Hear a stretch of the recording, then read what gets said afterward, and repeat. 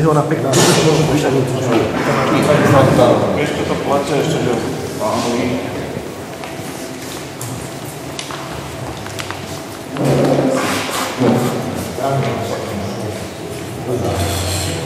Poďme za stoličku dozadu.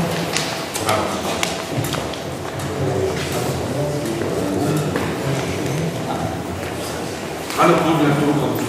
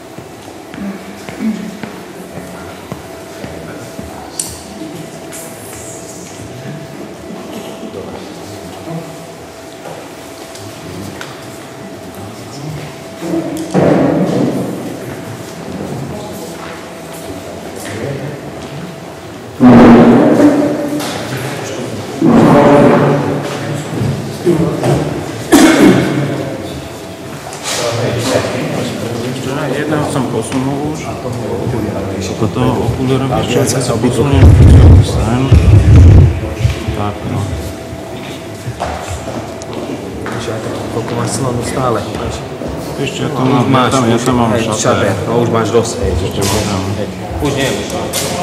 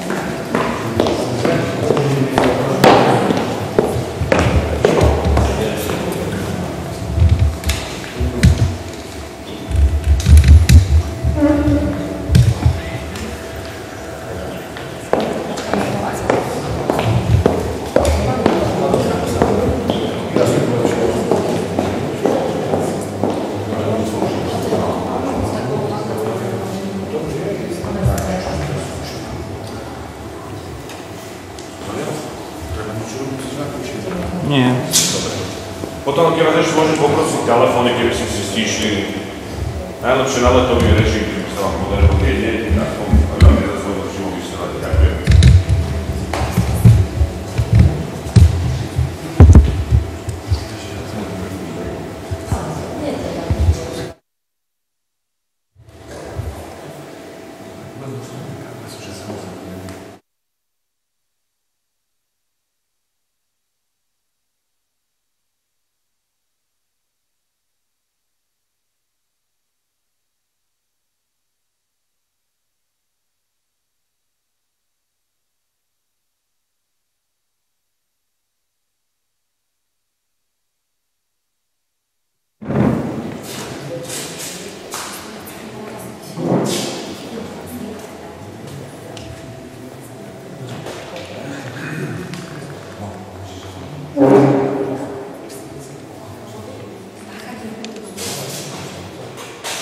to tmavé, že už nemáš žiadnu zebru, ale však ty to máš tam porovnané s ostatnými. Môže byť tak, či ešte? No keď sa pozrieš dopredu.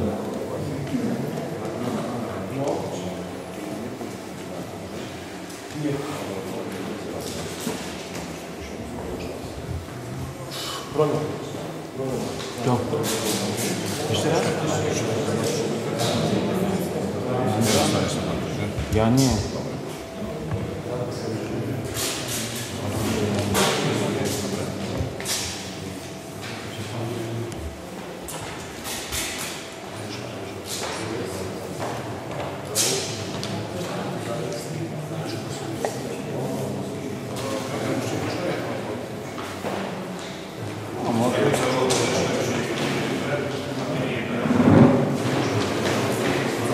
Čo?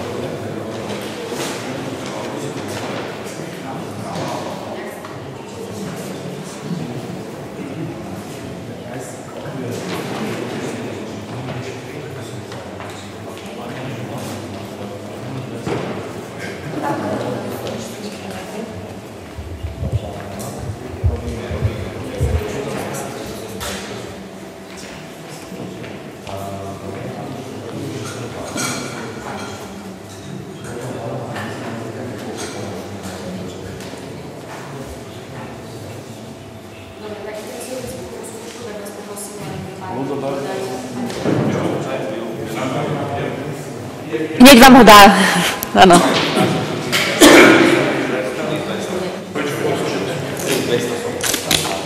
Funguje? Neviem vám povedať. Jedna, dva. Nie, nie, nie, nie, nie. Tam, pred hosti úplne.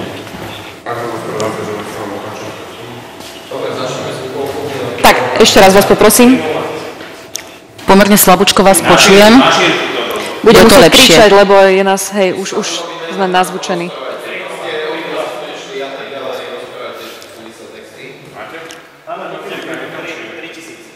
Nevnímajte to okolie, iba niečo hovorte, aby sme si nastavili zvuk. Cestovali sme od Vrutok, v podstate starou cestou.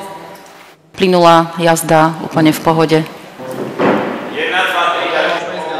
Pán Drost, môžete... Ďakujem. Môžem ja? Áno, Dobrý nech sa večer, páči. pozdravujem všetkých divákov a sledovateľov TA3, ale ja vás veľmi slabo počujem tiež. Budem hovoriť hlasnejšie. Teraz ma počujete lepšie? Už troška. Pán Choma? Áno, dobrý, dobrý večer prajem všetkým divákom televízie TA3. Dúfam, že sa porozprávame tak, ako treba. Pán Jan Skulík? Pekný dobrý večer, pozdravujem všetkých divákov televízie TA3. Stačí asi. Pani Jurinová? Pozdravujem všetkých a mám pocit, že sa to tak ozýva. Hlavne, aby sme sa počuli, tak potom Mm, budem sa hovoriť, sa snažiť hovoriť hlasnejšie. Pán Murin, môžete povedať niečo? Dobrý večer, pozdravujem všetkých občanov Žilinského kraja a Slovenska. Ešte pár slov? Dobrý večer, pozdravujem všetkých občanov Žilinského kraja a Slovenska. Pán Urbán? Dobrý večer, pozdravujem všetkých divákov TA3. Pán Sliško? Večer pozdravujem všetkých divákov. A pán... Teším sa na diskusiu. A pani Starinská? Dobrý večer, zdravím všetkých televíznych divákov televízie TA3, ako aj tu prítomných v sále. Na ty? Prosím ťa, ešte upravíš trochu vlasy, lebo sa trochu roztrapatila. Iba tam, z- neviem, či to bude...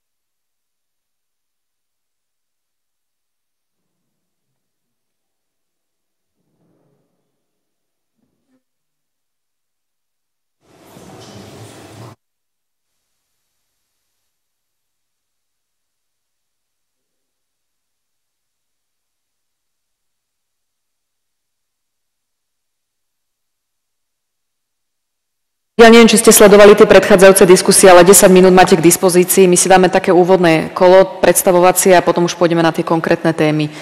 Ak je niečo, na čo vyslovene nechcete reagovať a miniať si čas, vy to pokojne môžete povedať a šetriť si ho na niečo iné.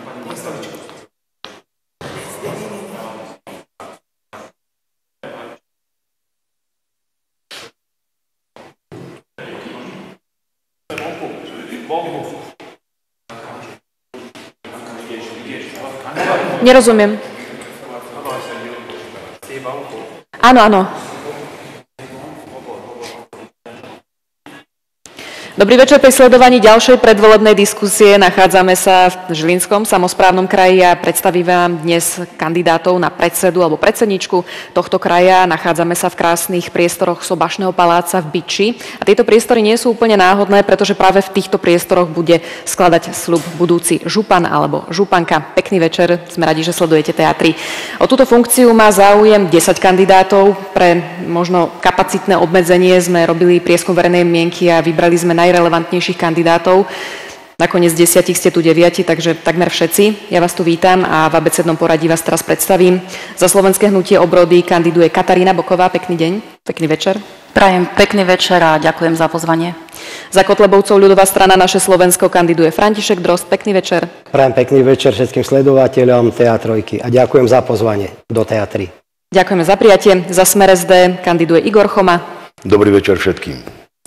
Za strany KDH Dobrá voľba a Umiernený a SNS Igor Janskulík. Pekný, Pekný večer. dobrý večer, prajem. Erika Jurinová s podporou strán Oľano, Nová Kresťanská únia, Zmena z dola, Sme rodina, Za ľudí, Demokratická strana, Občiansky demokrati Slovenska, Šanca, Občianská konzervatívna strana a SAS. Pekný večer. Pekný večer všetkým divákom. Jediný nezávislý kandidát, respektíve ste tu viacerí, ale to vysvetlíme. Marian Murín, pekný večer. Pekný večer prajem všetkým divákom TA3 a samozrejme občanom Žilinského kraja. Za stranu Republika Miroslav Urban, pekný večer. Prajem pekný večer. Za hlas SD Petr Sliško, pekný večer. Pekný večer prajem. A Národnú koalíciu nezávislí kandidáti Andrea Starinská, pekný Prajem večer. krásny večer všetkým divákom televízie Teatry, ako aj tu prítomným v sále. Tak na úvod tie pravidlá, aby ste neboli ukratení o to, ako teda budeme diskutovať. Máte každý k dispozícii 10 minút čistého času, môžete si ho sledovať na tejto časomiere, na tejto obrazovke, ktorú vidia aj televízni diváci. Ako s nimi naložíte, samozrejme na vás, ale odporúčam, aby ste si ho neminuli na jednu, dve témy, aby ste tu potom len tak nesedeli. Začneme takým predstavovacím kolom, aby aj že diváci a voliči najmä zistili možno, akí ste kandidáti. Pani Boková, ja spomeniem, že počas pandémie ste výrazne vystupovali proti očkovaniu.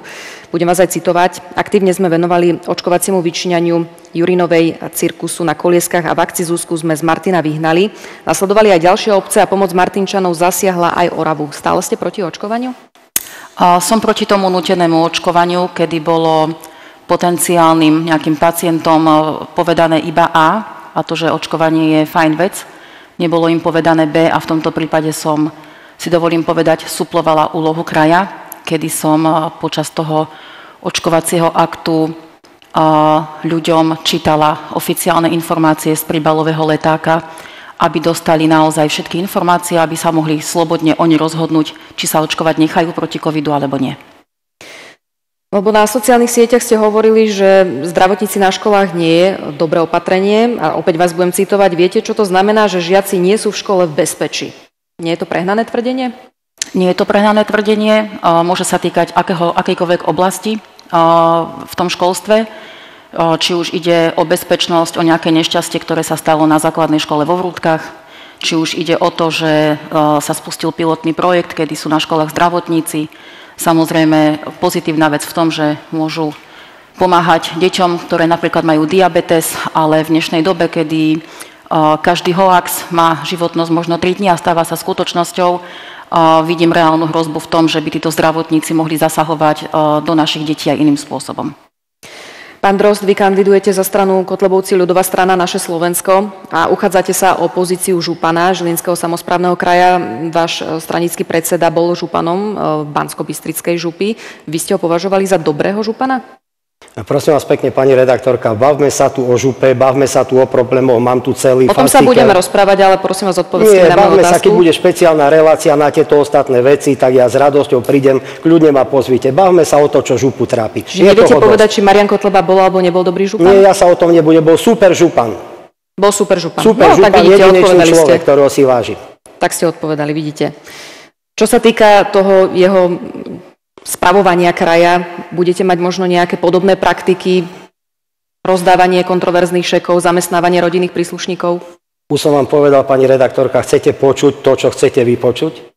Ja som vám odpovedal, bavme sa o problémoch, ktoré tu trápi župu. Čiže to, čo na tú, na tú reláciu, pozvite ma na nejakú reláciu a s radosťou prídem. Práve sme bavme vás sa o tom, pozvali. je tu toho dosť. Ďakujem, neberte mi zbytočný čas. Dobre, je to vaše rozhodnutie. Pán Choma, vy ste boli dvojnásobný bývalý žilinský primátor. Nakoľko si veríte v týchto voľbách, pretože naposledy ste už síce nekandidovali, nekandidovali v eh, komunálnych voľbách za primátora, ale za poslanca, ale tam ste nedopadli vôbec dobre. Myslím si, že v tejto chvíli nie je dôležité, ako som dopadol. Ja som nekandidoval eh, ani na župana, nekandidoval som ani na primátora a tieto voľby ukážu, čo voliči chcú. Ja sa vrátim v roku 2009, keď ste ako šéf Národnej dialničnej spoločnosti podpísali nevýhodnú zmluvu pre štát s firmou SkyToll. Najvyšší kontrolný úrad, on to tak detálne analyzoval.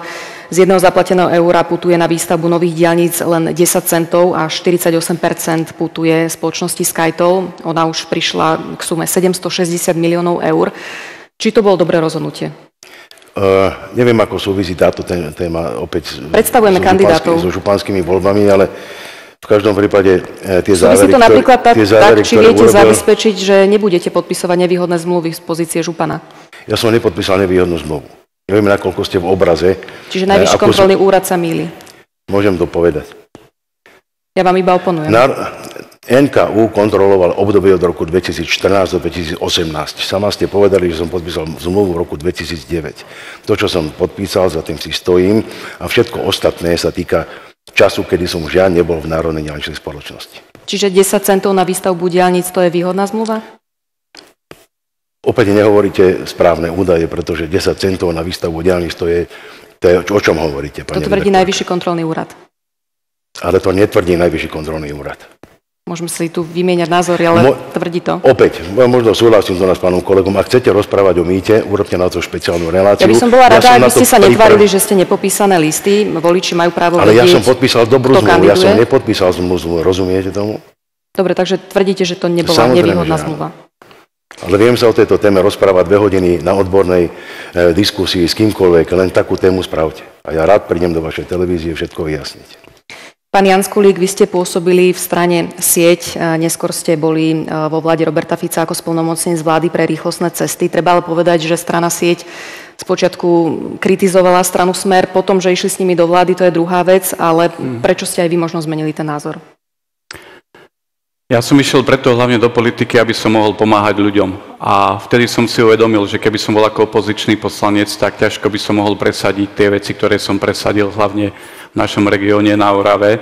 A dlho som váhal, či pôjdem do tej koalície alebo nepôjdem. Radil som sa s viacerými ľuďmi a hlavne starostami a primátormi, s ktorými často komunikujem. A dá sa povedať, že 99 starostov a primátorov mi povedalo, choď do koalície, lebo ako opozičný poslanec tam budeš iba drať nohavice a nič nepresadíš. Takže preto som sa rozhodol, že vstúpil som do koalície, ale treba aj dodať, že ako jediný poslanec som opustil vládnu koalíciu po vražde na Jana Kuciaka. Čiže nebolo to v súvislosti s tým, že ste získali túto funkciu, že ste zmenili nejaký názor? Keď sa stal minister Eršek a, dopravy, tak vtedy som videl, že vlastne všetky tie a, investície idú väčšinou na juh. Tak vtedy som buchol po stole a som povedal, že proste ten, bol som aj poslancom Vúcky, že ten sever Slovenska bude nejako ukrátený a proste sme sa spojili, náš klub, čo bol, a túto funkciu dá sa povedať sme uvažovali, ako by sme to mohli poriešiť a tým pádom oni vedeli, že sa venujem cestám, tak moji kolegovia vlastne ma navrhli, aby ma vláda meno, menovala za splnomocnenca vlády pre rýchlostné cesty. Nie pre diálnice, ale rýchlostné cesty. Pani Jurinová, vy ste tú prvú fázu kampane mali bez e, strany Oľano. Z akého dôvodu? Do času, kedy, by sa, kedy, sa, eh, kedy sme dokázali naozaj dať dokopy celú koalíciu, tak sa mi to zdalo nie celkom OK, aby sme tam mali iba jednu stranu. A každopádne tú prvú stranu, tú, tie prvé bi- billboardy som považovala za dôležité akoby pripomínaciu kampaň robiť. Ako vnímate to, čo sa deje okolo Igora Matoviča? To, že ho chceli v parlamente odvolávať, že to ustal, je menšinová vláda, nehovorím, že aj kvôli nemu, ale bol to spor medzi dvomi mužmi. Ako to vnímate a či možno stojíte za všetkými rozhodnutiami, ktoré navrhol váš stranický predseda? Kto robí, robí aj chyby. Každopádne si myslím, že vláda, kde stoja, nepadá na Igorovi Matovičovi. Bude to veľmi ťažké obdobie a uvidíme, ako dlho sa naozaj vláda bude vedieť realizovať akoby všetky opatrenia, ktoré je naozaj teraz potrebné realizovať. Eh, Ide ťažké obdobie a podľa mňa by bola chyba teraz v tomto období naozaj robiť zmeny. Novinárov zaujímalo, koľko máte vlastne poradcov. Bolo viacero medializovaných článkov. Experti Žilinskej župy inkasujú na dohodu 40 eur za hodinu. Za minulý rok si tak prilepšili o 300 tisíc eur. Využívate aj právne služby v hodnote 195 tisíc eur. A identitu tých e, expertov tajte kvôli ochrane osobných údajov. Viete teda povedať, koľko máte tých poradcov? Ja osobne nemám ani jedného poradca, poradcu. Naozaj ide o ľudí, ktorí pracujú zväčša na projektoch, ktoré sú eurofondové projekty. Cez tieto projekty a možno, že aj vlastnými silami vo veľkej miere realizujeme mnohé zmeny, ktoré sa na úrade dejú. Jednak sa pripravovali strategické dokumenty, mali sme možnosť dať si, vysúťažiť si nejakú firmu, ktorá by nám spracovala všetko na kľúč, dalo by nám to pekne mašličkou previazané, ale pravdepodobne by dokumenty išli všetky do šuflíka. Takže my sme sa rozhodli ísť náročnejšou cestou, angažovali sme aj expertov. Sumy na týchto expertov boli dané samotným projektom, ktorý organizuje, alebo ktoré, sú, ktoré idú z výzvy, alebo sú napísané priamo vo výzve Efektívna verejná správa. A, a za, zaangažovali sme aj množstvo ľudí z úradu. Takže to finančné ohodnotenie je adekvátne rovnako ako naozaj v iných krajoch, ktoré, ktorí realizujú takéto projekty. A ešte čo sa týka tej, eh, eh, tej právnickej firmy, eh, právnická firma, viete, že sme boli v obstarávaní verejnej dopravy, takže tá suma je naozaj adekvátna tomu, čo právnická firma robí práve pri tomto náročnom procese obstarávaní. Máme ukončené tej verejnej doprave sa potom aj dostaneme, na to sa vás ešte chcem spýtať. Pán Murín, vy ste honorárnym konzulom Bieloruska. V súvislosti s tým, čo sa teraz deje, vojna na Ukrajine, ako vnímate tento konflikt? Jednoznačne odsudzujem samozrejme agresiu Putina na Ukrajinu, pretože nie je normálne, aby ktorýkoľvek človek v podstate išiel nejakým násilím zobrať inému človeku alebo inému národu územie, ktorému patrí. Takže absolútne to odsudzujem.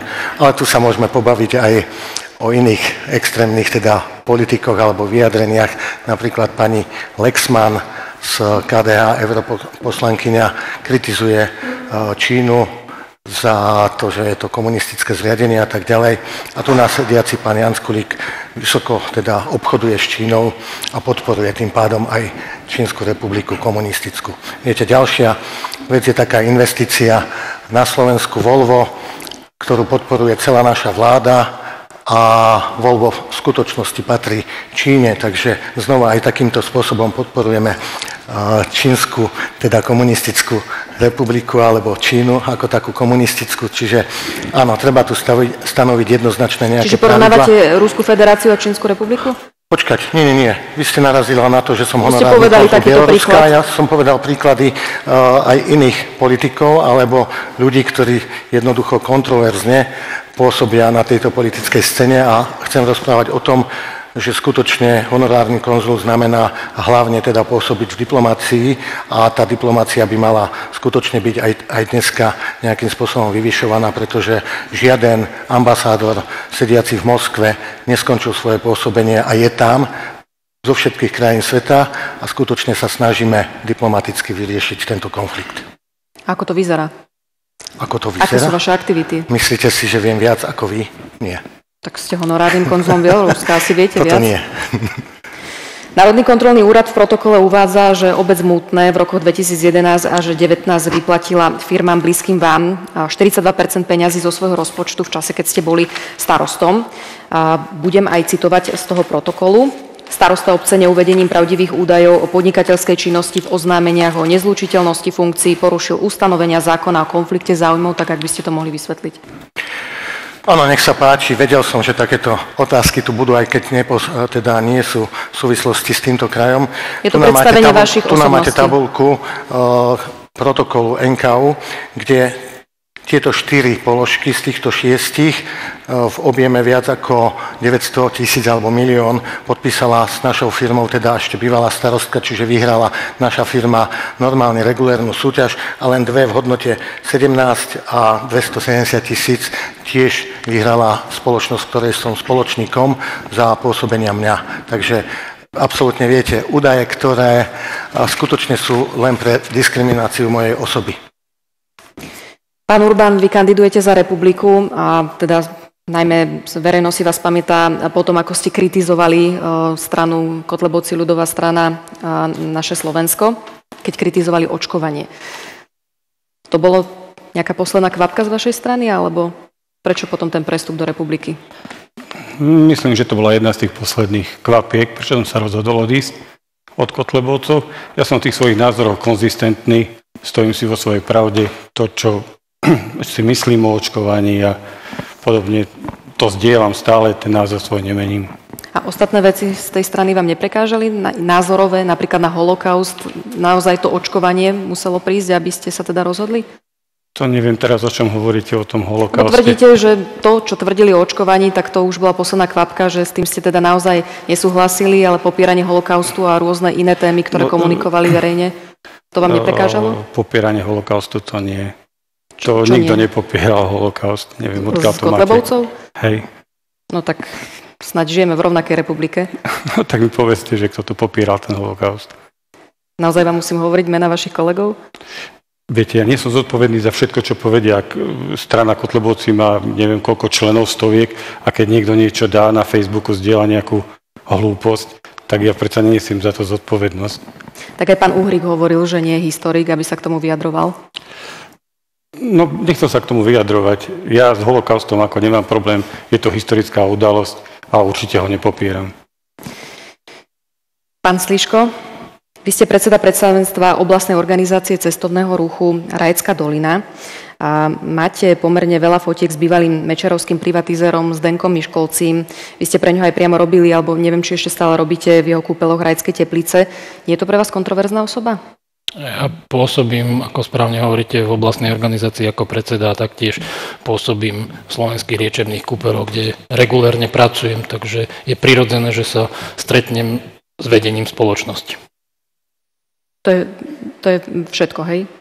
Je to štandardný pracovný pomer a tak ako vy niekde pracujete, ja niekde pracujem, ja nemám čo viac tomu dodať.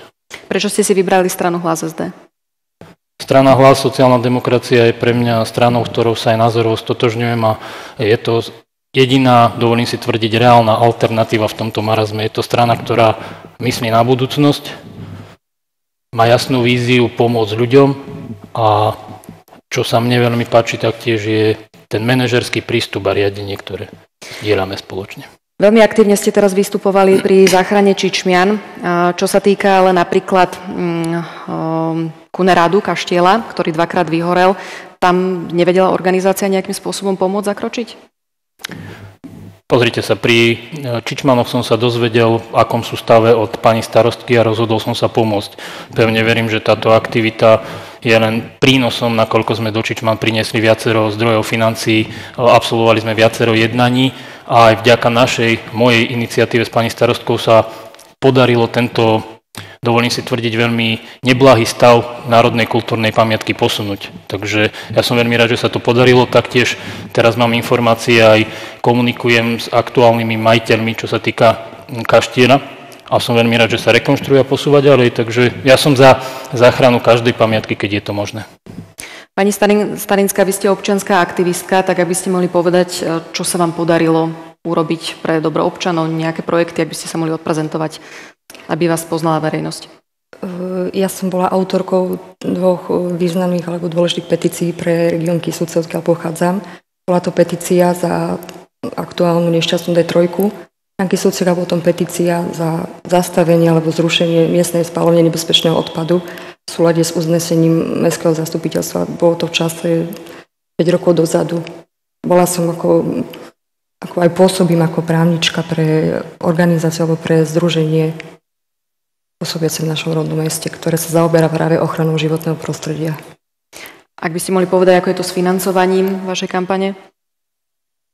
Financovanie, myslíte, kampane tedajšej? Prispievam si sama plus ľudia z okolia, známi, príbuzní, kto ako. Dobre, ďakujem veľmi pekne, to bolo úvodné kolo a teraz už pôjdeme na tie konkrétne témy. Samozrejme, že sa im budeme venovať, máte viac ako dosť času, takže nebojte sa, stihnete to. Prvá otázka, máte už pripravený zoznam politických nominácií alebo budete pracovníkov vyberať prostredníctvom e, transparentných výberových konaní? Môžete začať, kto chcete. Ak nikto, tak pani Boková. Môžem teda, ja nie som zastancom toho, aby sa o, po zmene takejto dôležitej funkcie hneď riešila nejaká personálna výmena.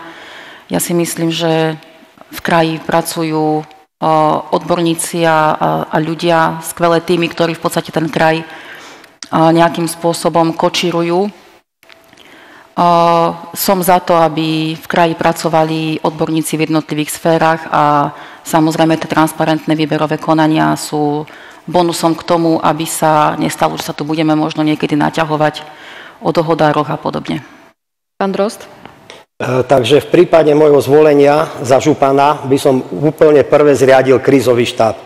Lebo tam, kde sa uberá teraz župa, zdravotníctvo v kolapse, cesty hotové, sociálne zariadenia hotové. Odchádzajú lekári z nemocníc, odchádzajú zdravotné sestry a pracovníci zo sociálnych zariadení. A, a ten cesta... štát by ste si vyberali teda sami, alebo cez Ja mám pripravených konania? perfektných odborníkov v prípade môjho zvolenia, ktoré by som na tieto dôležité posty s nimi obsadil. Takže Sú to bez ľudia už máte ktorí ľudí. dané veci rozumejú, nie ako to je tam doteraz. Pán Choma? Ja som nie zastancom nejakých politických e, čistiek e, a personálnych záležitostí. Ja som e, nič podobné nerobil, ani keď som nastúpil na úrad v meste Žilina a myslím si, že sa treba spoliehať na ľudí, ktorí sú zabehnutí, ktorí tam roky fungujú, ktorí vedia, čo robiť a pokiaľ majú chuť pracovať, vedia pochopiť to, čo od nich chcem, tak majú priestor na spoluprácu so mnou. Môžeme pokračovať. Hmm. Pani moderátorka, ja najskôr by som ešte zareagoval na toho splnomocnenca vlády. Chcem len podotknúť, že túto funkciu som vykonával bezplatne, bez nároku na odmenu a vykonával som ho počas môjho uh, poslaneckého mandátu.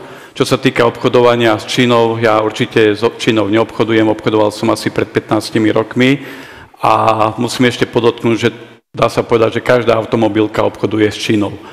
Čo sa týka uh, Vúcky, e, poslancom som od 2013, takže dokonale poznám vlastne každého človeka, ktorý tam robí na úrade a musím povedať, že netreba tam, dá sa povedať, takmer nikoho meniť, len treba robiť poriadok s dohodármi.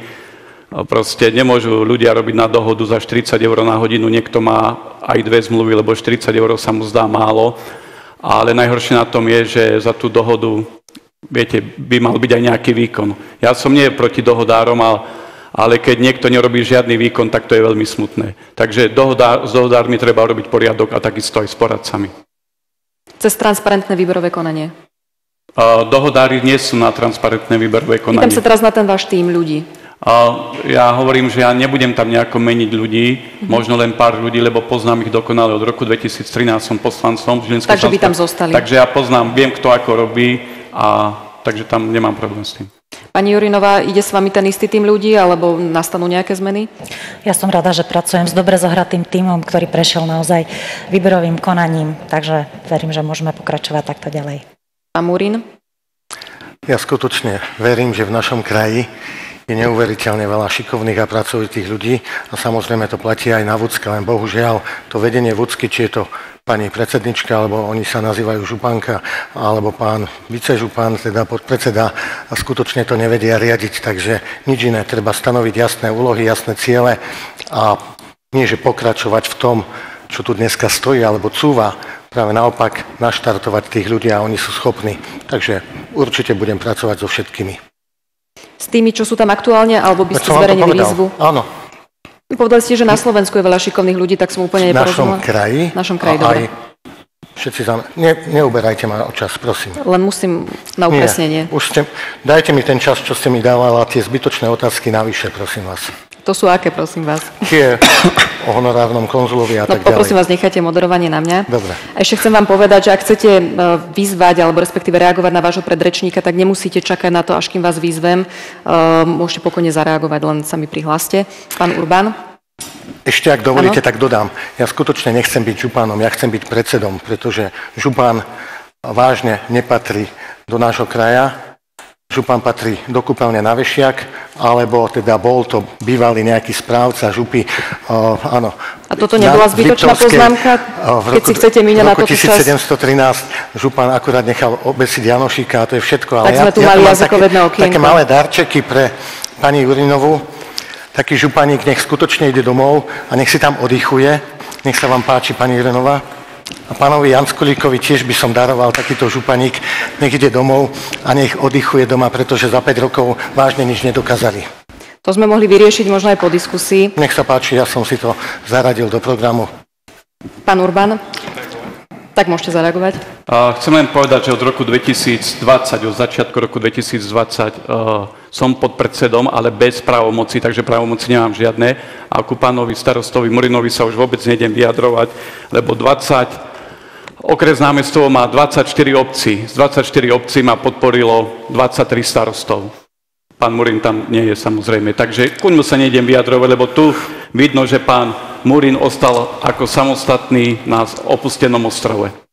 Šetrite si čas aj na tie témy, aby sme tu nemali len osobné spory. Pán Urbán, politické nominácie, áno, nie? Rutíme sa z jednej krízy do druhej krízy. Ja si myslím, že politické čistky nie sú teraz na mieste. Určite transparentné výberové konania a ľudia, ktorí sú zabehnutí na župe, ja by som s tým problém nemal. Pán Sliško? Určite nie, my zdieľame manažerský prístup s orientáciou na výsledky, čiže ľudia, ktorí naozaj dosahujú výsledky, nevidím dôvod to meniť. Pani Starinská, máte nejaký tým ľudí, alebo ho budete hľadať? Mám ľudí, ale budem určite hľadať medzi ľuďmi, ktorí pracujú na úrade. Vero, tí zamestnanci dlhé roky, ktorí majú skvelé nápady. A začneme teraz od druhého konca. Pani Starinská, úplne prvá priorita v prípade vášho zvolenia by bola čo? Tak nakoľko je tá doba teraz ťažká a skloňuje sa stále téma energetickej krízy, tak určite energetické zabezpečenie Žilinského samozprávneho kraja. Určite by som tak nevieme, ako bude postupovať vláda, alebo či bude vyhlásený núdzový stav, či bude to vyriešené týmto spôsobom, ak nie, budeme sa musieť zomknúť ako župani a vyslovene, nie že postaviť na odpor, ale konať podľa ústavy, ale tam by som ani nešla do tejto do tej témy alternatívny, alternatívy energetickej sebestačnosti. Mojou víziou je, aby ten Žilinský samozprávny kraj bol energeticky sebestačný, lebo táto doba nás učí, že prílišná závislosť a ako to chcete dosiahnuť? Tak sú mnohé alternatívne zdroje ako nákup fotovoltaik, proste kon, konvergačných plynových motorov, ktoré následne vyrábajú teplo, plyn, vodík dokonca. Potom to je nákup zariadení alebo batérií, batérií takých e, zariadení batérií, e, ktoré pracujú na princípe, keď fotovoltaika e, na slnku zlyha, tak vie zabezpečiť teplo a kúrenie alebo elektrickú energiu na zariadenia, na ktoré je určená. A taktiež to je paradox, že ako bojovnička, tak bojovnička ako za zdravé životné prostredie a proti spalovní typu nebezpečného odpadu. Som práve dostala skvelý ako nápad alebo podnet z ľudí z môjho týmu, kedy je možno využiť, nakoľko má Žilinský samozprávny kraj na území Martinsku tepláreň, ako aj Žilinsku, dostať ho spod správy štátu do správy e, Žilinského samozprávneho kraja a následne vyrábať teplo, ktoré by zabezpečilo súla, teda v súlade alebo v nejakom súbehu s tými, e, pred tými spomenutými záležitostami alebo s, tými, s tou alternatívnou formou by vedel zabezpečiť proste fungovanie, energetickú sebestačnosť. A dalo by sa to aj v podstate v priebehu pár mesiacov zrealizovať. Myslím si, že financie na to sú. Pán Sliško? V prípade mojho zvolenia jeden z mojich prvých krokov bude stretnutie s celou samozprávou Žilinského kraja, aby sme mohli aj spoločne riešiť tie závažné a základné otázky, a to je nesporne energetická kríza, katastrofálna doprava v našom kraji a aktuálny stav zdravotníctva. Môžete aj podrobnejšie povedať, eh, buď k tej energetickej kríze alebo k doprave, aby ste to možno aj trochu viac rozvinuli, že čo konkrétne by tie boli eh, tie, tie vaše kroky. Nielen pomenovanie tých problémov, ale čo by ste vedeli doka- eh, dokázať Určite urobiť áno. v tomto volebnom období. Ak smiem, začnem dopravou, pretože doprava je naozaj aktuálne najzávažnejšou témou v našom kraji a myslím, že k tej energetickej kríze sa budeme asi všetci vyjadrovať. Takže čo sa týka dopravy, tak jednoznačne vidíme v našom kraji stav diálnic, tunelov, ciest, a vidíme, že samozrejme župa vo veľkej miere nemôže, alebo respektíve nemá v kompetencii diálnice, no na druhej strane si musíme otvorene povedať, že je to nesplatený dlh štátu voči našemu kraju, pretože vidíme, že celá tá D1 je vlastne svojím spôsobom nedokončená priamo u na Žilinskom kraji, je to D3, ako som povedal, tie tunely, čiže tu jednoznačne musíme ako celá župa vytvárať silný apel a tlak na vládu. Čo sa týka ciest, ktoré má priamo župa v správe ciest druhej, tretej triedy a mostov, tak tam taktiež vidíme kritický stav mostov a, aktuálny, aktuálny stav ciest, kde áno, vidíme, že aktuálne bolo za posledných 5 rokov rekonštruovaných 200 km ciest. Takže musíme si otvorene povedať, že Župa má 1400 km ciest a pri takomto tempe to vychádza 35 rokov a taktiež iné kraje za ten istý čas dokázali urobiť 600 až 700 km ciest. Tu jasne hovoríme o tom, že zavedieme semafor ciest a správy ciest, kde jednoducho cesty skategorizujeme do troch kategórií červenej, oranžovej, žltej, zelenej, pardon, a na základe toho budú rekonštruované a opravované. Taktiež veľmi dôležité z môjho hľadiska, aby to nebolo politické, pretože ako to teraz vidíme, tie cesty boli vo veľkej miere opravované tesne pred voľbami, čo spôsobilo takmer kompletné uzavretie Oravy. No a tretí taký zásadný bod je integrovaná doprava. Ak nevieme občanom a ľuďom v našom kraji poskytnúť kvalitné cesty, tak do, integrovaná doprava stelesňuje určitú alternatívu, ktorá zabezpečí kvalitné cestovanie. No nemôže to byť tak, že sme 5 rokov riešili integrovanú dopravu na to, aby sme spustili pilotný projekt, ktorý nefungoval. Opäť tu z tejto pozície sa zavezujem, že v prípade môjho zvolenia zavediem integrovanú dopravu v celom kraji, nielen pilotnú v dvoch regiónoch. Ďakujem. Pán Urban, vaša priorita?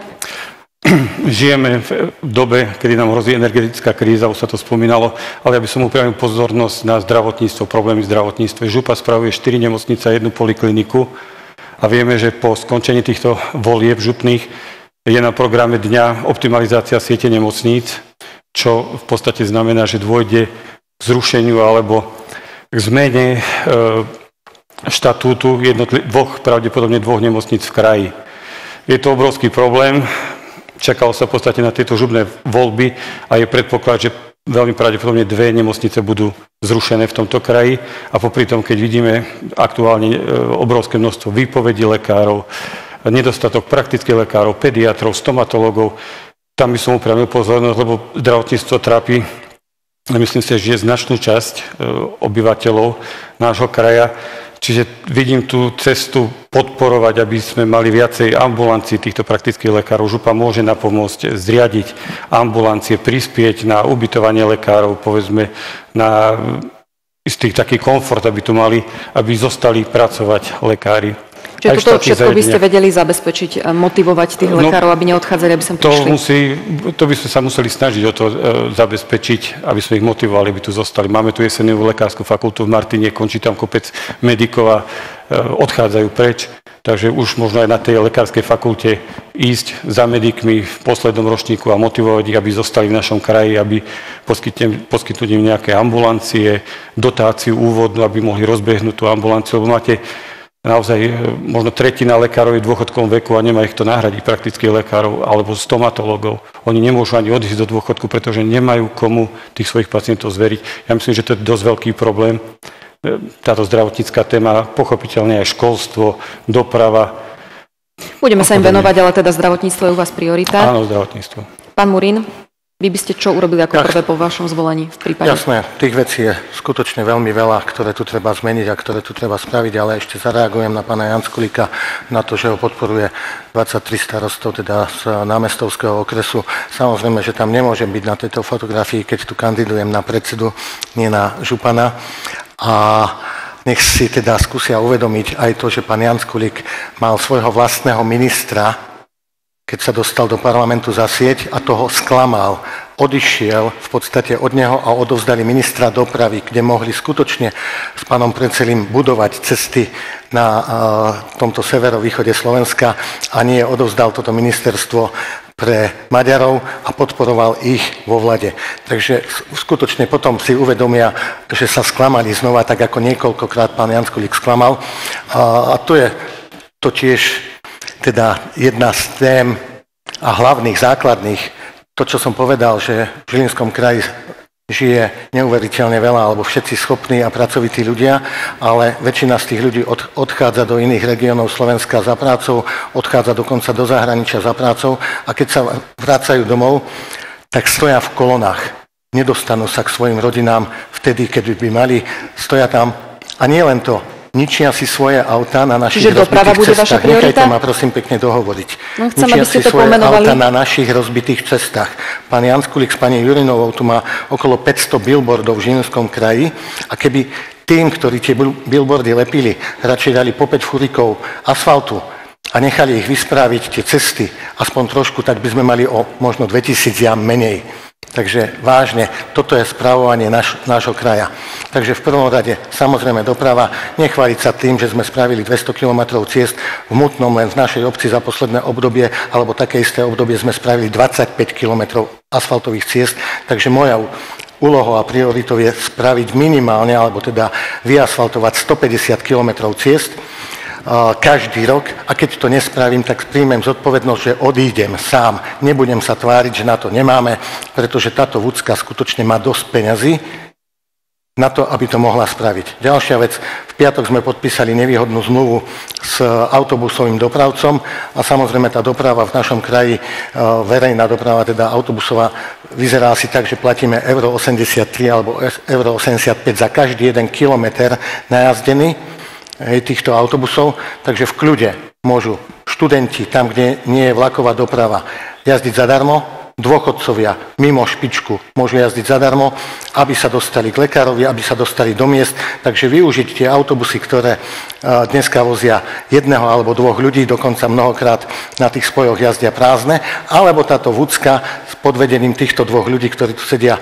vedľa mňa, mala spraviť takú súťaž, ako ju robia napríklad v Nemecku, že tam, kde sú Sledujte si čas, len vás upozorňujem, aby ste viem, potom... kde je autobusová doprava v, z menších obcí, tak jazdia malé autobusy. Tak toto mali nastaviť, že autobus mohol jazdiť za maličký mikrobus za 50 centov a nie my všet, všetky kilometre platíme euro 80. Absolútne cestné riadenie. Pani Jurinová, v prípade vášho opätovného zvolenia, v čom by ste pokračovali ako prvom?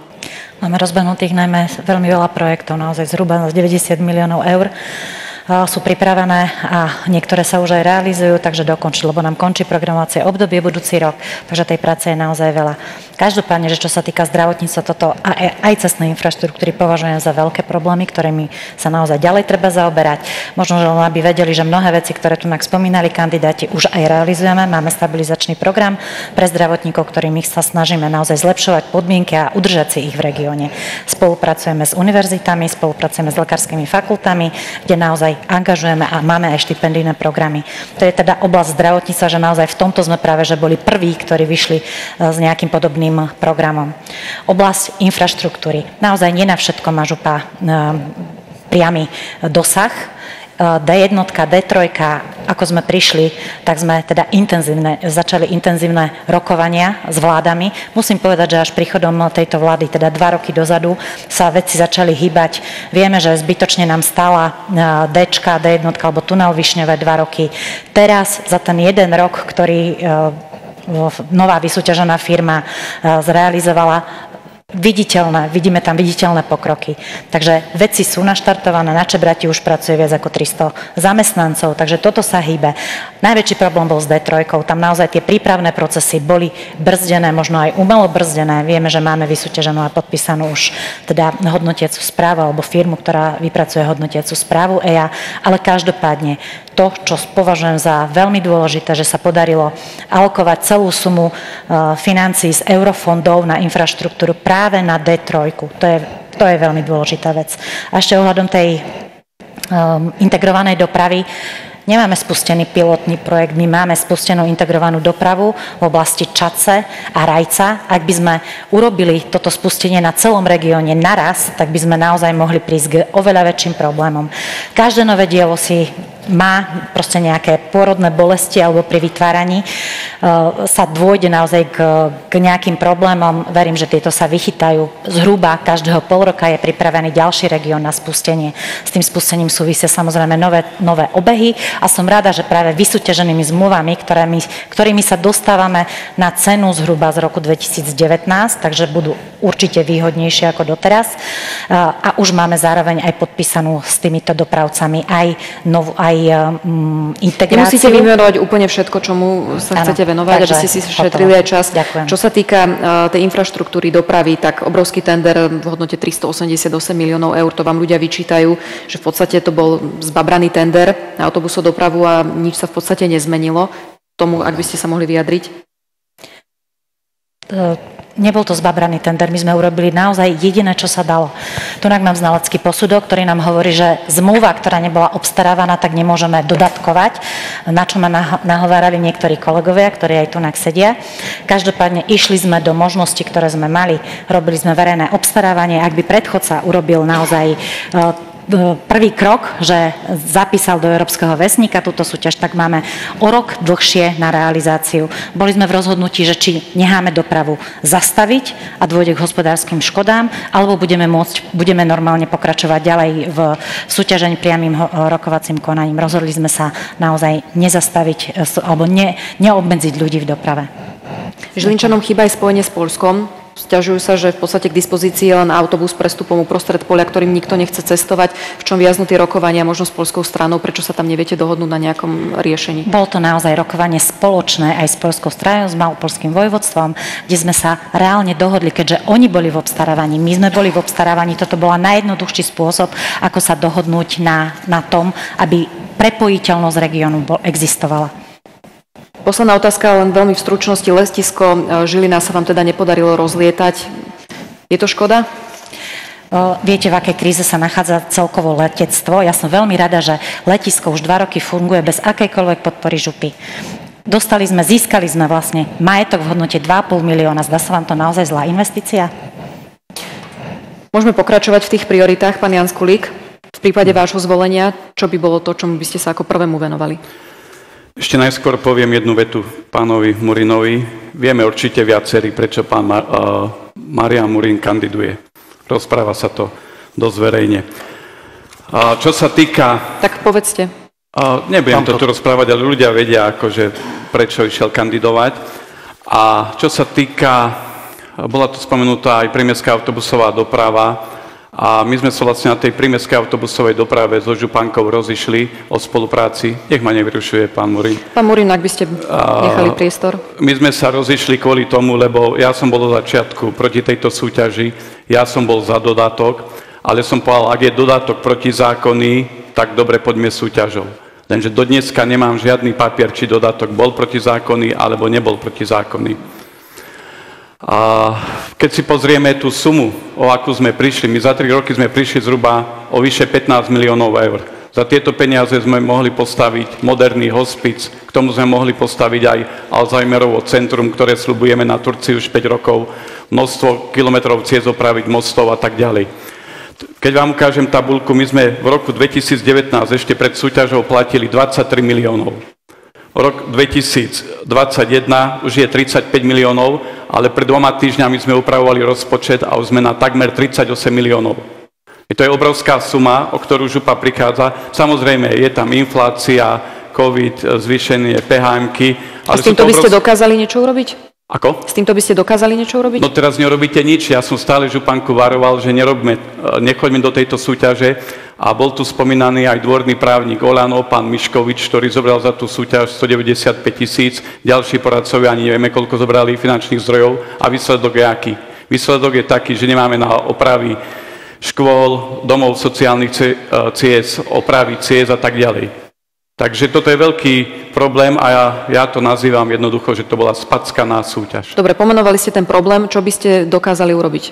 No, s touto súťažou už nerobíte nič, lebo teraz sa vlastne podpísala nová súťaž a problém je v tom, že v tej novej súťaži sa napríklad, čo sa týka Sadky Žilinskej, Sadka Žilinská obsluhuje Turiec, Liptova Horné považie a tam je nábeh až 15 mesiacov. To znamená, že keď sa aj teraz podpísala nová zmluva, my 15 mesiacov ešte budeme platiť stále tieto vysoké, obrovské sumy. Rozumiem, ale pýtala som sa na prioritu. Hovoríte to, s čím Pri... neviete nič urobiť, s čím dokážete Áno, nič priority, urobiť? priority moje sú cesty, zdravotníctvo a sociál. Čo sa týka ciest, ak sa stanem županom, tak ja nedovolím, aby sme opravovali cesty, tie, ktoré sú dobré aj keď sú na to eurofondy, ale eurofondy sú tiež nie zadarmo. To znamená, musíme opravovať cesty, ktoré sú zlé a musíme cesty opravovať tak, aby nie len, že vydržali záručnú dobu, lenže nám najhoršie aj nevydržia záručnú dobu. Cesty sa musia opravovať, aby vydržali 20-30 rokov. Ale my opravujeme cesty po dvoch, po troch rokoch a keď vidím, že proste aj dobré cesty opravujeme za 300 tisíc, teraz konkrétne vo Vitanovej, tak to ako, ja nechápem, ako tu chýba zdravý sedliacký rozum. Medzihraničná autobusová doprava, cyklotrasy, tam by ste sa tomu tiež venovali? A cyklotrasy, cyklotrasám sa venujem aj teraz, dá sa povedať, dosť aktívne, čo sa týka o, o cyklotrasy okolo Oravskej priehrady. Bude to projekt okolo 56 kilometrový a bude to vlastne, dá sa povedať, európsky projekt, lebo pôjdeme vlastne do tohto projektu aj s Polskom boli už viaceré jednania na polskej strane, oni to vítajú, takže určite cyklotrasy budeme budovať nielen na Orave, ale v celom Žilinskom kraji. Projekt Strečno vrútky by ste dokázali dokončiť? Projekt Srečno vrútky, vieme, že to je náročný projekt. Stretávam sa, dá sa povedať, na týždennej báze s tými ľuďmi, ktorí vlastne pripravujú tento projekt. Tu by bolo ideálne, keby aj županka do toho viac vstupovala a pri tých jednaniach bola osobne, lebo je to iné, keď tam príde ako predseda samozprávneho kraja, alebo keď tam len prídu zamestnanci úradu. Takže treba vyjednávať, viem, že sa tam robia rôzne obštrukcie, proste tlačiť viac na tých ľudí, aby proste našlo sa nejaké riešenie, lebo nemôžu nám to dvaja, traja ľudia zastaviť takýto významný projekt, keď to poviem. A keby ste boli županom, tak by ste ho vedeli teda rozbehnúť? Tak keby som bol županom, tak sa určite tých e, stretnutí by som sa zúčastňoval. Zúčastňoval a tým pádom vytváral tlak, ako sa tlak nevytváral napríklad na Kisuckú D3, kde sme zistili až po dvoch rokoch, že nám prepadla EA, to je neskutočné, tunel Višňové, žiadny tlak, Srečno. My máme, proste tu už je problém sa dostať do Žiliny. Tie cesty sa zle opravujú, teraz máme obrovský problém krásno, staré projekty, nerobila sa tam diagnostika, intenzita dopravy sa nezmerala. Veď keby sme vedeli, že tam je taká vysoká doprava, tak musíme robiť náhradné premostenia. Nemôžeme Pozor to na takto. čas, aby ste si ho neminuli úplne. Pán Chomá, váš priestor. No zdá sa, že tých problémov, e, ktoré e, župa má, je naozaj obrovské množstvo. Tá doprava je takou, ako by som povedal, achilovou petou e, Žilinskej župy, pretože to, čo sa tam deje, sa naozaj diať nemá. Pôsobenie súčasného vedenia Žilinského samozprávneho kraja samozrejme vnímam teda v spolupráci aj pani županky, aj pána vicežupana, ako, ako obdobie premárnených príležitostí, pretože tých príležitostí bolo naozaj dosť, ale neboli využité. E, máme tu nezvládnuté verejné obstarávania. Ak teraz hovorí pani županka o tom, teda, že konala zákony a tak ďalej, tak potom prečo dostala e, župa pokutu od úradu pre verejné obstarávanie za nezvládnutý tender. Tá pokuta je vo výške 1,8 milióna eur. Ďalšia pokuta nám hrozí e, od NKU vo výške viac ako milióna eur. Samotná zmluva, ktorú ste nedávno podpísali s pánom, teda nie, ktorú ste jednoducho podpísali, Hovorí o tom, že namiesto 15 miliónov budeme platiť 25 miliónov ročne, pani Županka. To sú obrovské straty a tie sumy, ktoré e, tu dnes zaznievajú, sú veľmi, veľmi dramatické a dali by sa využiť e, úplne, ale že úplne inak. E, toto nie sú e, e, všetky problémy, o ktorých teda tu hovoríme. Sú tam ešte, je tam ešte množstvo ďalších. Ekonomické zdravie Žilinského samozprávneho kraja sa prepadlo podľa agentúry INECO z 3. na posledné 8. miesto. To znamená, naša župa je najchorejšia zo všetkých e, krajov e, v, v, v, na Slovensku. A prečo je to podľa vás? Čím je to spôsobené, ten prepad? Ten prepad je spôsobený tým, že sa nehospodári s financiami tak, ako sa má hospodáriť. O tom je aj nález NKU, ktorý hovorí, že župa využíva finančné prostriedky tak, ako by ich využívať nemala. A keď hovoríme teda o týchto tendroch, o, o nedotiahnutých verných obstarávaniach, ktoré naozaj e, e, vyzerá veľmi, veľmi zle, tak toto je presne ten výsledok.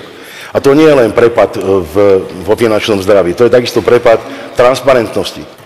Pani Županka zo strany Olano, e, ktorá prezentuje teda, alebo prezentovala vždy teda, aké všetko čest, musí byť čisté, aké to musí byť transparentné. My sme sa prepadli v transparentnosti z druhého na šiesté miesto.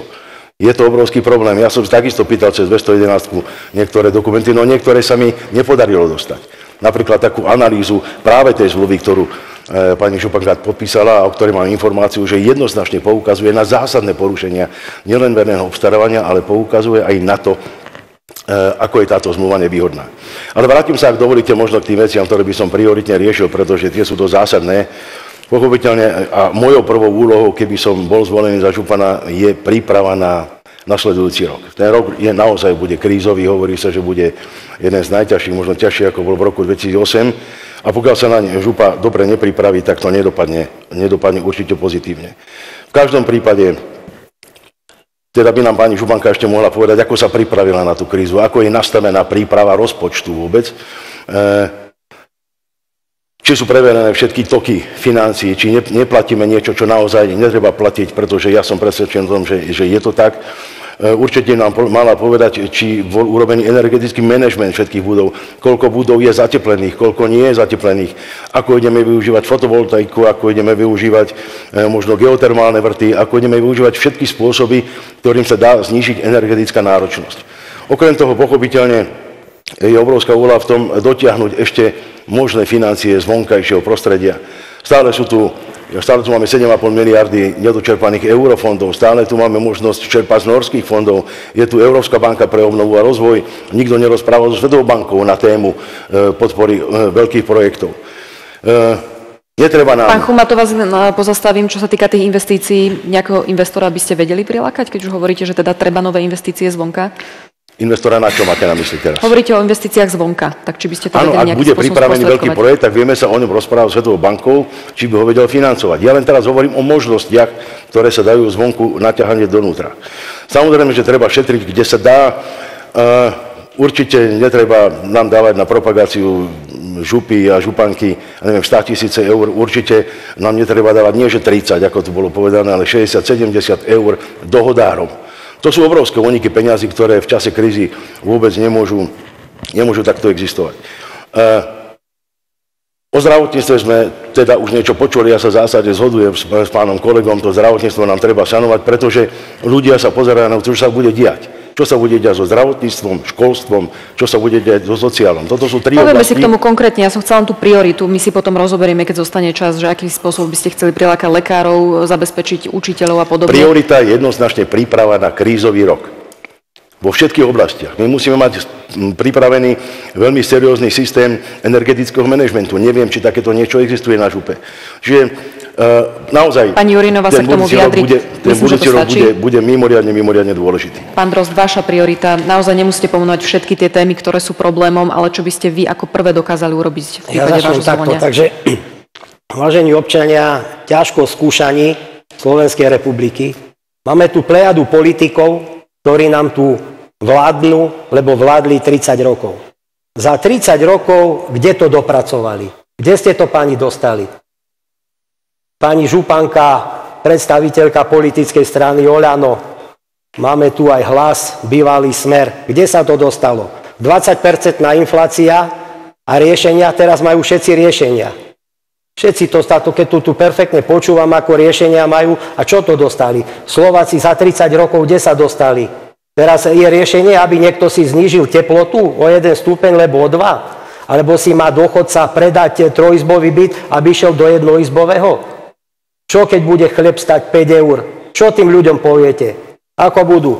Zdravotníctvo, nemocnice, všetci sa vyškieráte z billboardov, tiež koľko tých billboardov pán Jackulík má, koľko má pani Jurinová a chodíte po obcach, e, oblbujete ľudí s letačikmi, choďte sa pozrieť do Čačanskej nemocnice. O 5. ľudia stoja pred nemocnicou, lebo nemocnica Čačanská patrí pod župu, čo čakajú, aby sa dostali ku špecialistovi. Tam je dôchodca, som tam videl dôchodcu, ktorý si zo sebou zobral vanku, ktorý tam spal. O pol 7 sa otvorí nemocnica, idú ku špecialistom, jak ešte nejaký existuje, lebo špecialisti už sú není.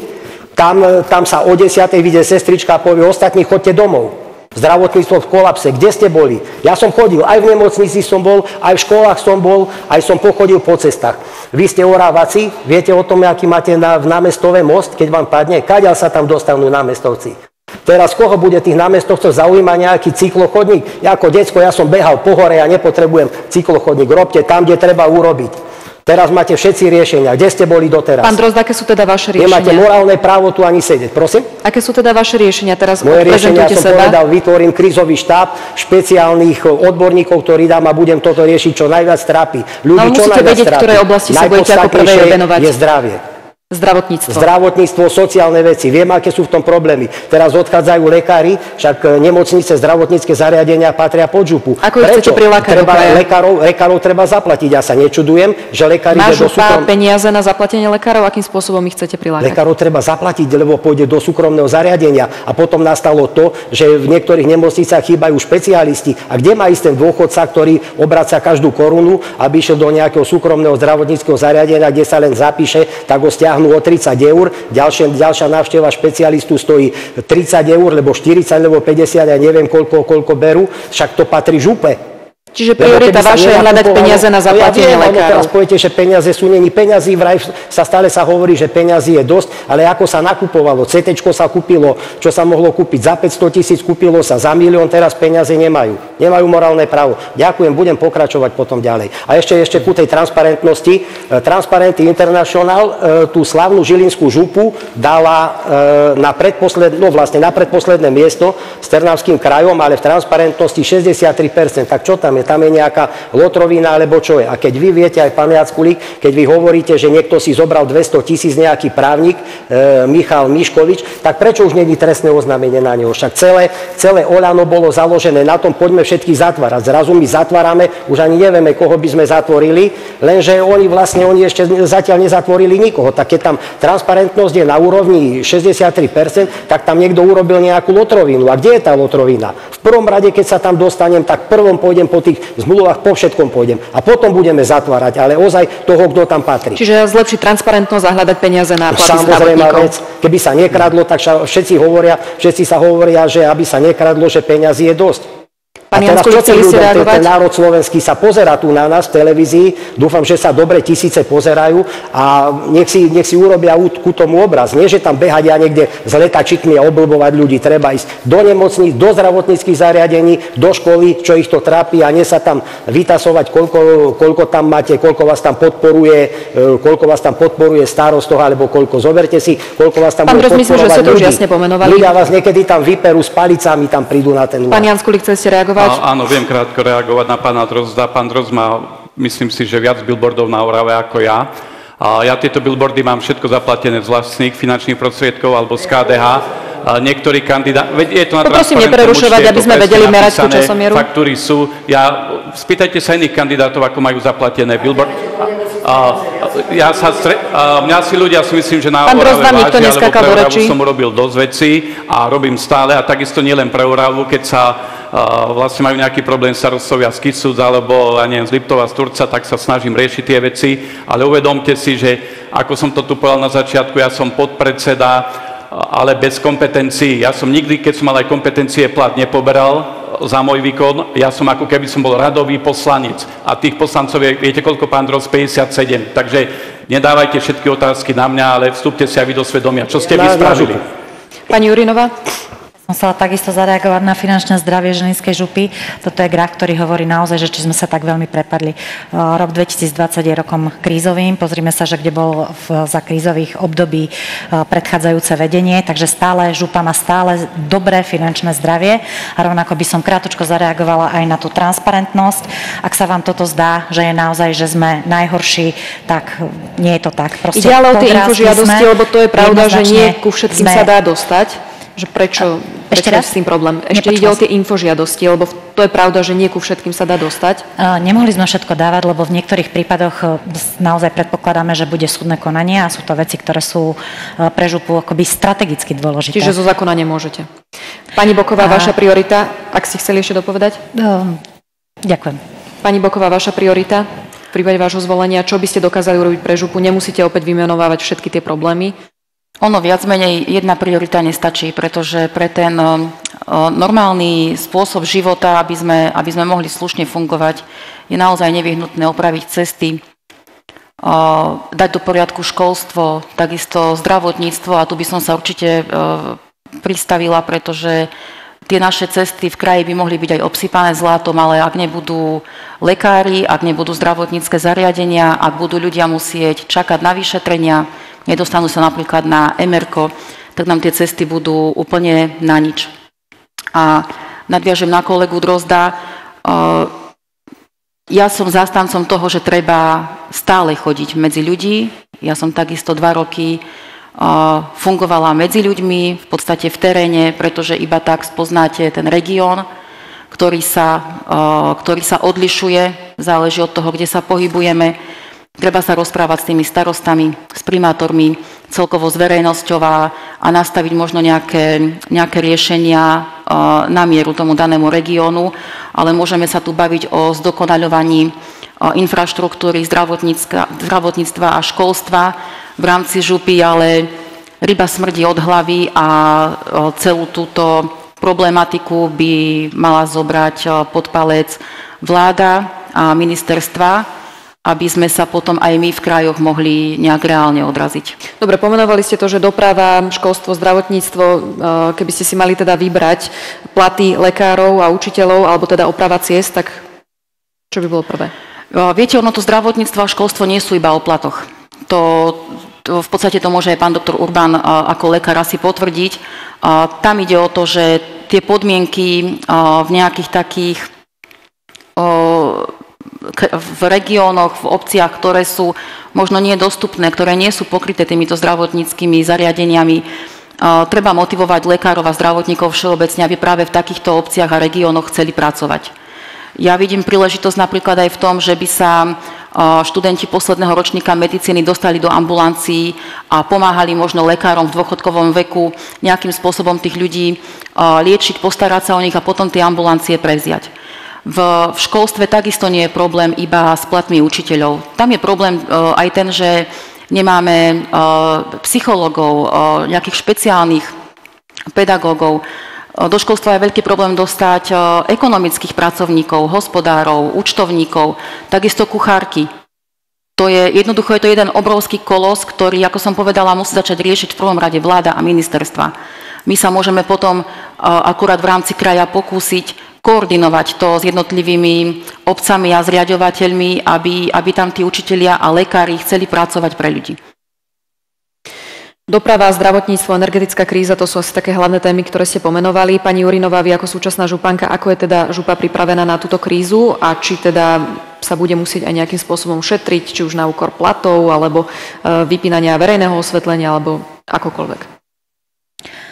Každopádne ako veľmi náročná situácia bude pri zostavovaní rozpočtu, ktorý sa už začal rozpa- e, zostavovať. Sme svedomi toho, že e, urobiť vyrovnaný rozpočet e, bude náročné a každopádne vieme, že investície budeme vedieť využiť hlavne z eurofondov. Z vlastných zdrojov tie na investovanie financií bude veľmi málo, ak vôbec nejaké budú.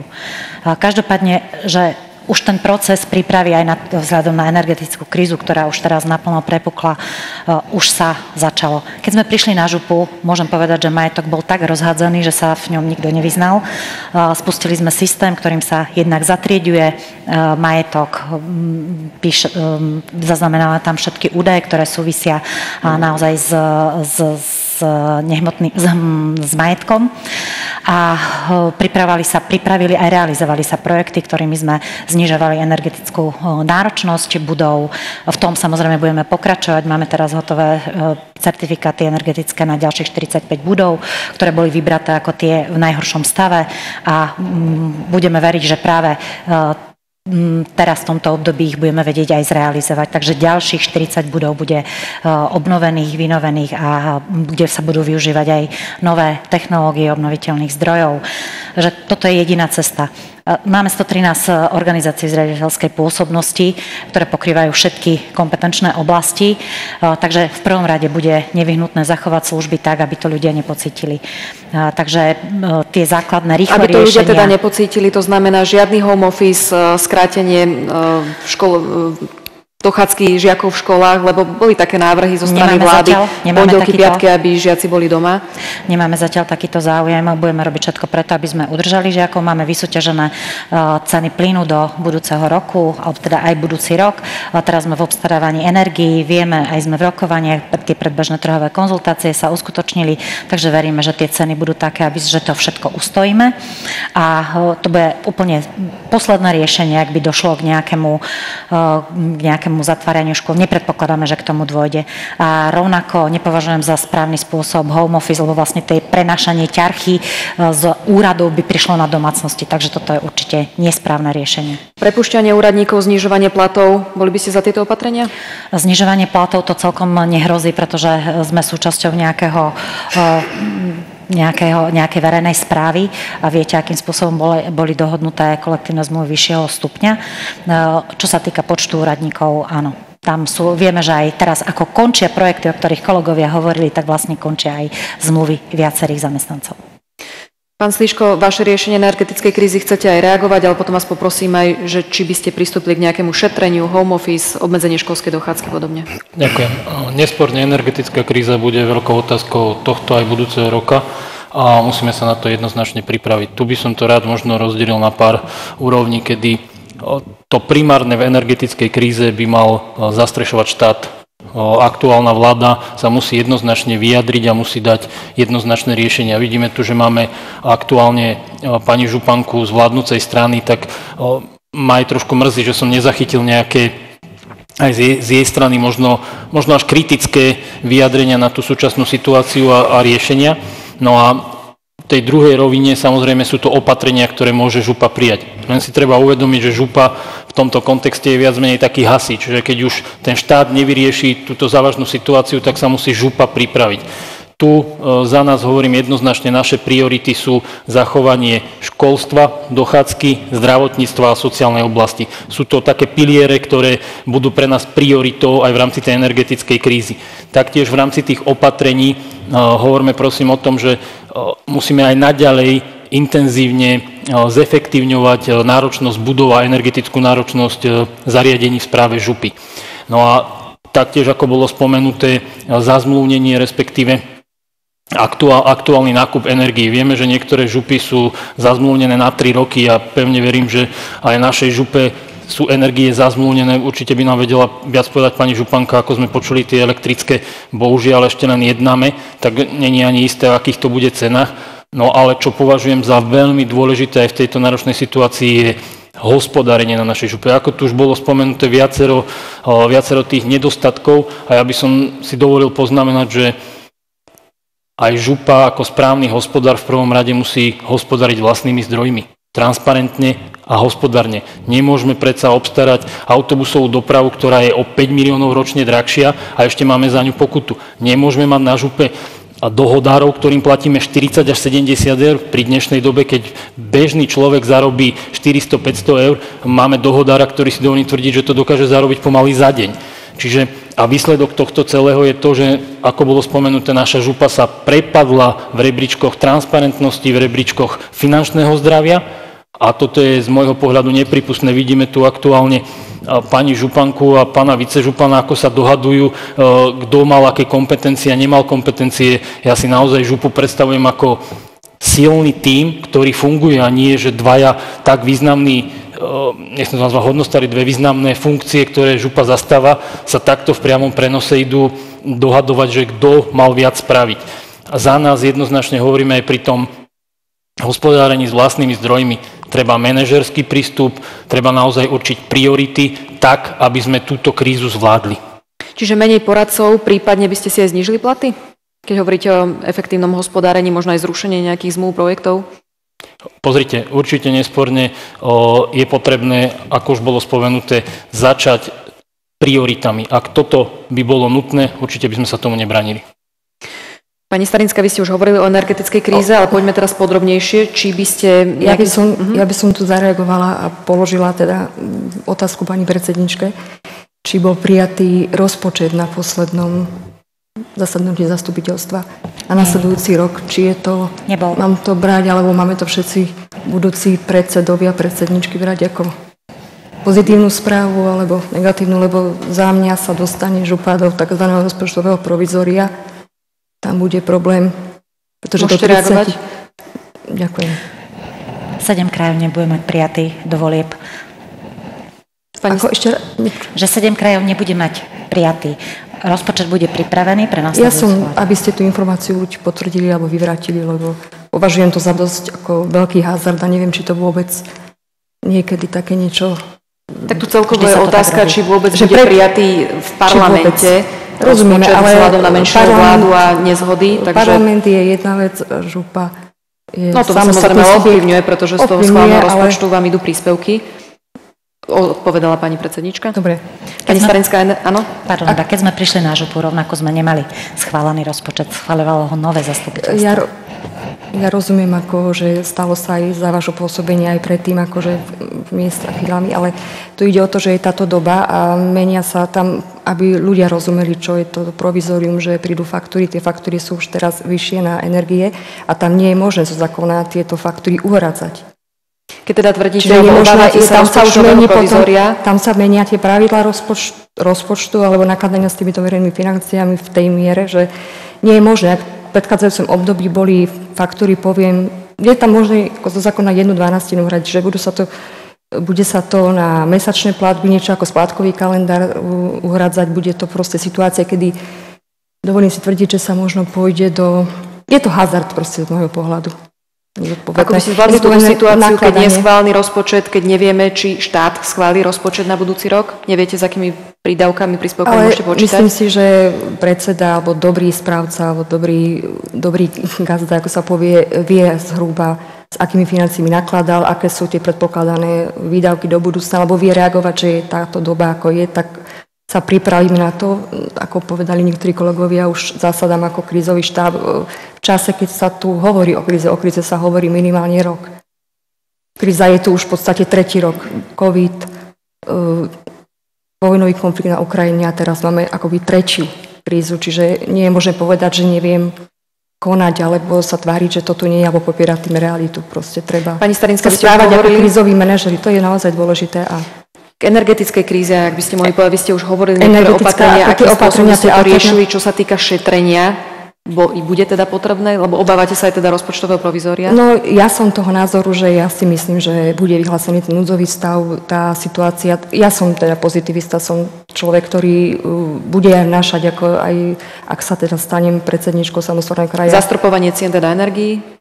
A S tým, na to sa verím, že aj ak by vznikol nejaký dlh, alebo štát to proste vykompenzuje. Ja v to verím, že sa tie nájdu, tie dialógy, tie tlaky budú vyvíjane. Čiže ako na- županka by ste to nemuseli riešiť, Vyvíjala- vyriešil by to štát tými opatreniami, ktoré zatiaľ Čo sa navrhol. týka tých e, cien energie, ako som spomínala na začiatku, vytváraním alebo mojou víziou je tá energetická sebestačnosť a potravinová. Čiže aby kraj bolo také malé Švajčiarsko, aby proste, ja si myslím, že sme nádherný, ak nie najkrajší kraj na celom Slovensku a práve preto verím, alebo verím v to, že sme schopní sa ako energeticky postaviť na nohy tak potravinovo.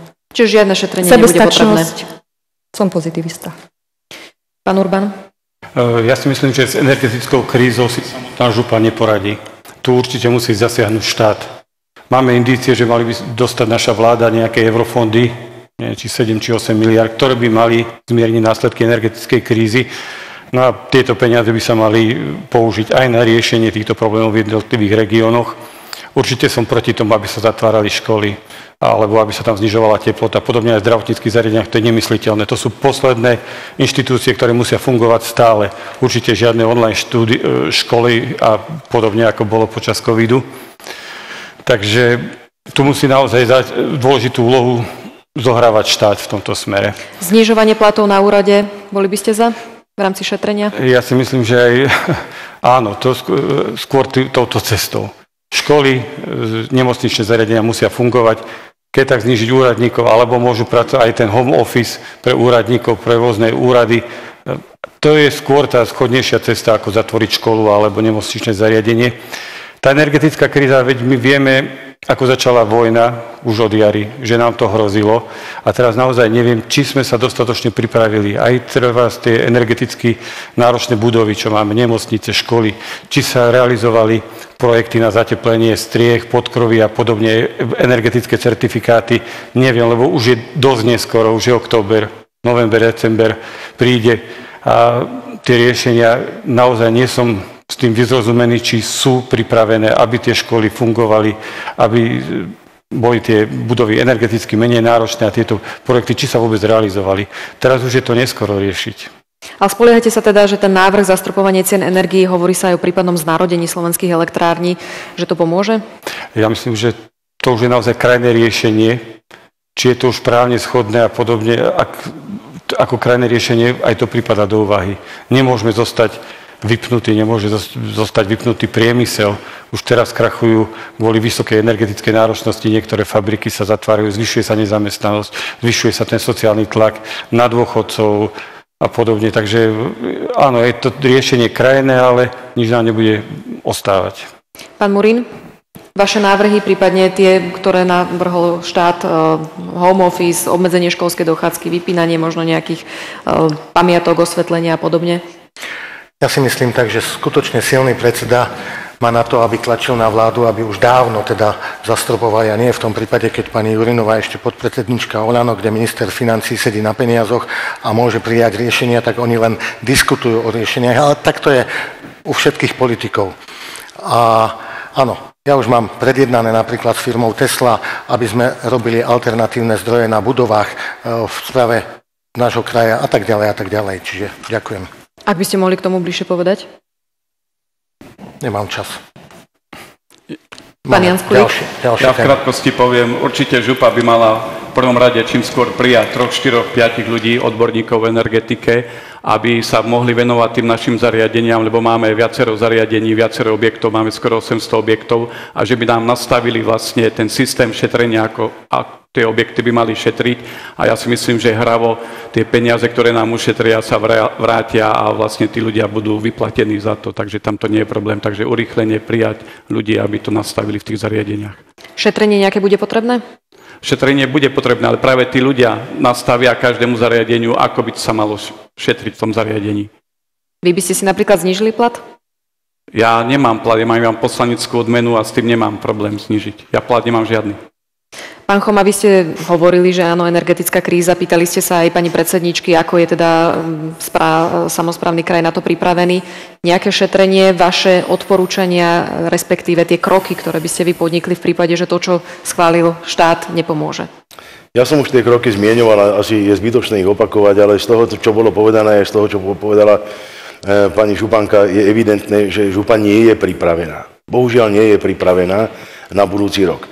Ak hovoríme o tom, že rozpočet sa len nejakým spôsobom rozbieha a pripravuje, ak hovoríme, že nemáme zazmluvnené ceny energii na najbližšie 3 roky, tak ako to urobili iní župani, ak nemáme zateplené všetko, čo môžeme, ak nemáme využívané iné zdroje, tak naozaj tá župa ide do veľkých problémov. A preto bude naozaj e, len a len na e, novom vedení župy, akým spôsobom sa toho vedia chopiť a ako to vedia e, zmanéžovať. Faktom stále ostáva, že musí fungovať, a už to tu bolo zmienené niekoľkokrát, zdravotníctvo, musí fungovať školy, musí fungovať sociálne domovy, kde nemôžeme predsa len tak vypnúť od elektriky. A toto sú zásadné veci. Ja viem garantovať, že pokiaľ ja by som bol župan, tak určite sa nestane to, že by e, sme poslali deti domov. Deti musia byť v škole, aby rodičia mohli byť v práci. Šetrenie na úrade?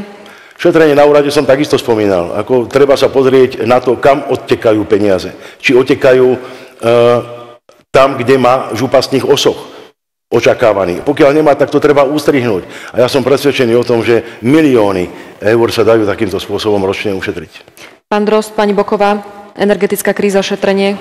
Energetickú krízu by som hneď vyriešil a týmto predstaviteľom by som aj poradil, nech poradia tým svojim pánom, ktorí sú vo vlade. Stačí otvoriť z Ruska kohutíky a nech teče ropa, nech, nech tečie plyn, stačí to, čo si my vyrábame elektrínu na Slovensku, nie cez nemeckú burzu, predávať ju tu. E, pani Župan, keby som povedal, že by som aj aj vám, pán Jan Skulík, by som vám prijal, aby ste pre Čačanskú nemocnicu prišiel o 5, keď tam ľudia čakajú na to, lebo tá nemocnica patrí počacu. A tam im poveste, že vy ste županka a vysvetlíte im, prečo tam on čaká, prečo tam už čaká on od 5 a prečo nemá, e, prečo tam nemá zdravotnú starostlivosť a prečo tam není ten špecialista. Lenže teraz nastalo to, že my sme v prvom rade, priatelia Slováci, tu najviac sú Ukrajinci, my sa ideme starať o Ukrajincov. My nemusíme sa postarať o Slovákov. Slováci, vy ste teraz na poslednom mieste, poďme, poďme pomáhať Ukrajincom. Keď príde Ukrajinec do nemocnice, tak tam je prvý operovaný. Ale Slovak, ty si ešte počkaj, ešte kto vie, Pán Droz, ešte k tej energetickej kríze, to znamená, že vy by ste nejakým spôsobom tlačili na vládu, aby zrušili v podstate tie sankcie, ktoré prijala Európska Hovorí sa, že energetická kríza prišla s vojnou na Ukrajine, to není vojna Ruska s Ukrajinou, to je vojna Ameriky s Ruskom a treba s Ruskom nadviazať obchodné vzťahy, treba otvoriť kohuty. Ako som povedal, treba nech tam nech tu teče plyn, nech tu teče ropa a elektrínu, ktorú si vyrobíme na Slovensku, tak nebudeme cez Nemecku a budeme si ju predávať my bez problémov. Jednoduché riešenie. Nebojíte sa to, že by to nejakým spôsobom ohrozilo naše postavenie v rámci Európskej únie? Ale ja sa bojím to, a čo teraz my sme v tej Európskej únii? U nás, keď je keď Slovak, e, ktorý zarába 500 eur, alebo dôchodca, ako má vyžiť zo 400 eurovému dôchodku, ktorý zaplatí za liter benzínu, alebo za liter nafty 2 eurá, pre Nemca to není problém, ktorý zarába 3-4 tisíc eur, nech mu stojí v Nemecku tá, ten liter nafty aj 5 eur, ale nech vysvetlia to nám. Toto nech im povedia. Riešenia ja mám, keď sa dostanem na župu, Slováci a dáte mi šancu, uvidíte, čo sa tam urobí. Bude tam iný čardaš. Pani Boková? Ja si myslím, že tu rozprávame všetci v nejakých teoretických rovinách a nikto z nás nedokáže predstaviť, eh, čo nás reálne čaká, ak tá energetická kríza eh, vypukne a prepukne a pohltí nás, ale eh, samozrejme vieme, že za tou energetickou krízou je aj konflikt na Ukrajine. Myslím si, že ak chceme seknúť s krízou, tak stačí nevyzbrojovať Ukrajinu, a neprilievať olej do ohňa a tým pádom nepotápať vlastných ľudí. Ďalej, Čiže v podstate ste proti tomu, aby sme pomáhali Ukrajine, aby Európska únia nejakým spôsobom... Som proti tomu, aby sme pomáhali Ukrajinu, vyzbrojovať Ukrajinu. A ak sa ideme tváriť, že za, za Slovenskom stojí Európska únia, ktorá nás nejak spasí, tak potom prečo nariekame nad tým, že Rusko zatiahlo kohútiky? Na čo nám je potom Európska únia? K energetickej kríze, neviem, či to bude vidieť, toto je Tokio, nočné, nočný New York. Takto nejako vyzerajú všetky veľkomestá po celom svete, aj v Európe. A prečo potom bežný Slovák má uťahovať opasky a má šetriť, keď eh, globálne to funguje takto nejako?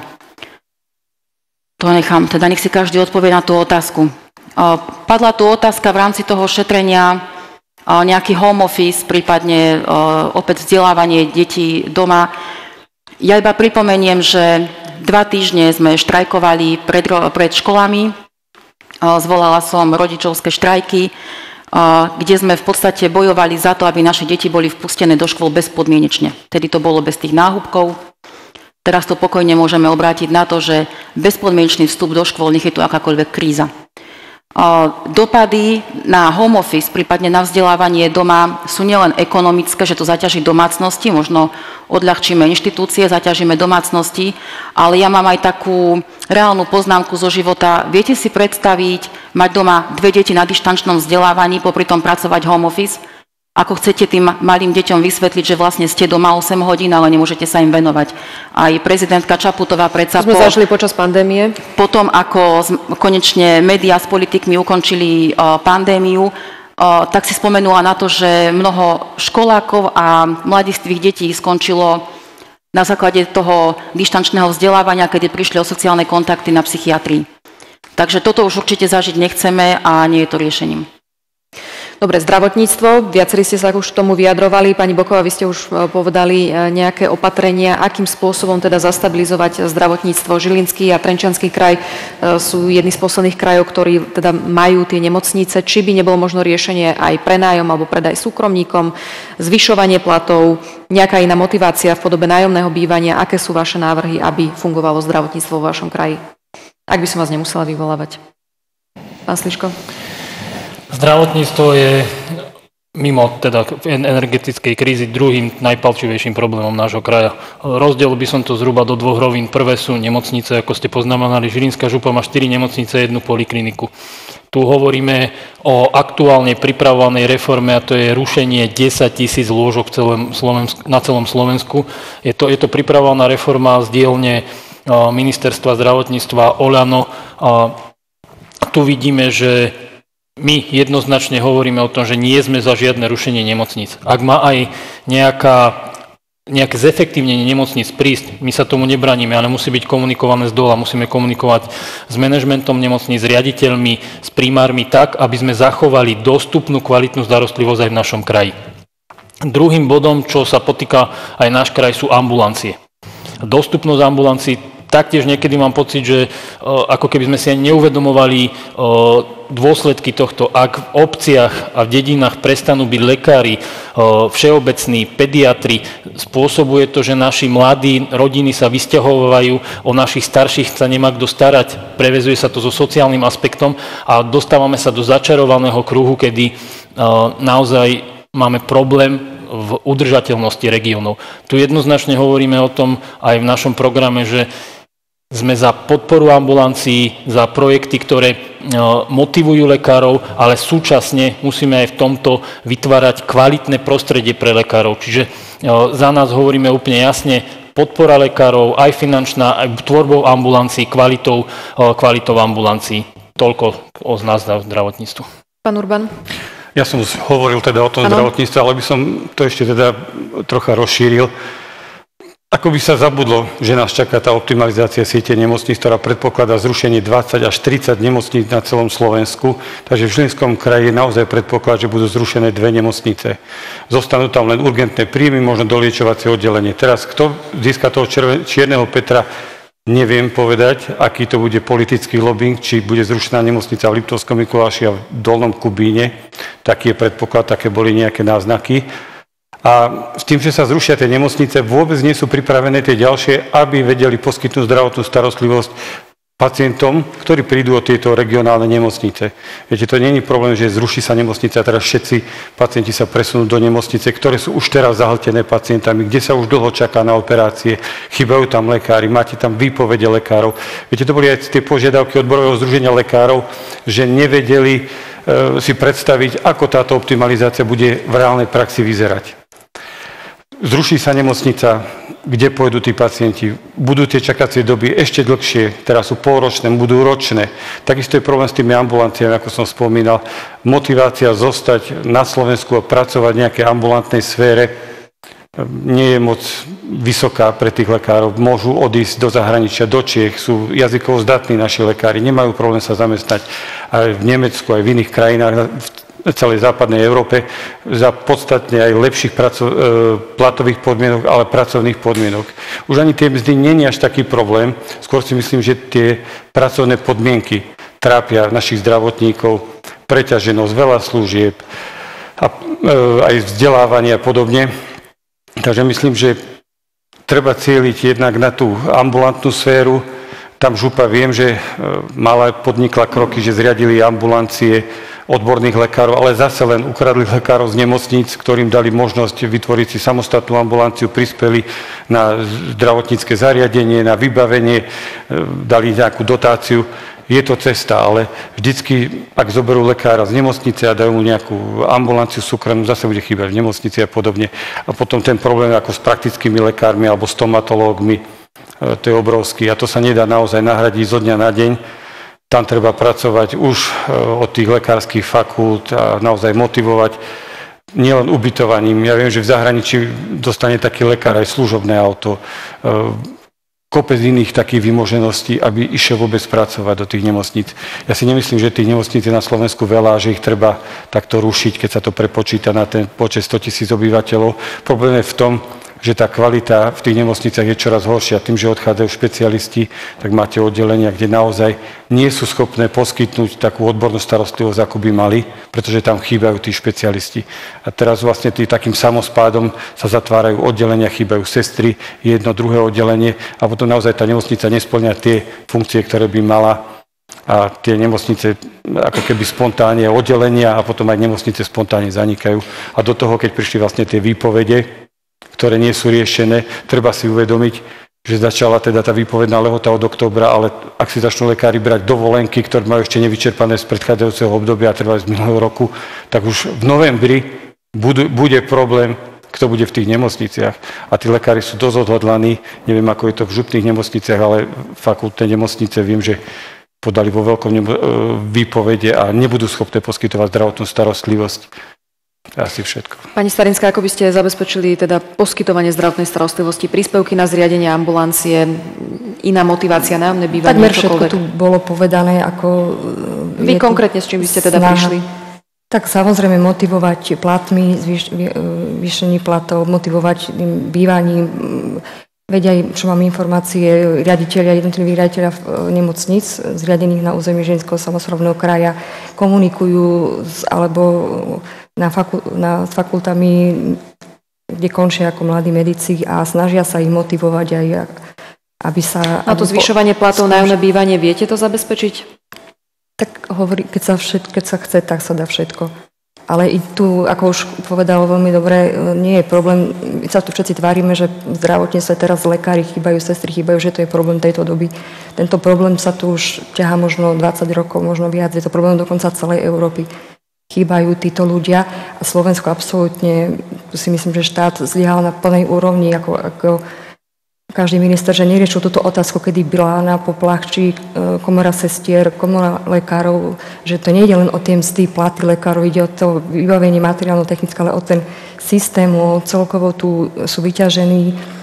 Je Proste... Lekárske odborové združenie prišlo s 8 požiadavkami, podávajú sa hromadné výpovede, každý vieme, aké sú tie požiadavky, ale vy ako županka tvrdíte, že je to celosvetový problém. Je. Ako to chcete teda vyriešiť, aby tu mohli pracovať zahraniční lekári, tak tie tam bude hovoríte, že tá na sa nájde peniaze. Komunikácia s tým štátom, teda keď už e, tú právomoc preniesol na, na župy, tak nech si ho vezme naspäť do rúk a rieši to štát na, na riadnu, pretože tam na to sa nadvezujú mnohé zákony, mnohé, ktoré z môjho pohľadu bránia, ako napríklad zdravotné sestry, mnohé vám potvrdia, že e, tým nastal ako odliv sestier alebo nechuť e, dievčat vôbec študovať strednú zdravotníckú školu, keď skončí ako asistent alebo ako že musí ešte pokračovať vo vysokoškolskom štúdiu na to, aby bola zdravotná sestra.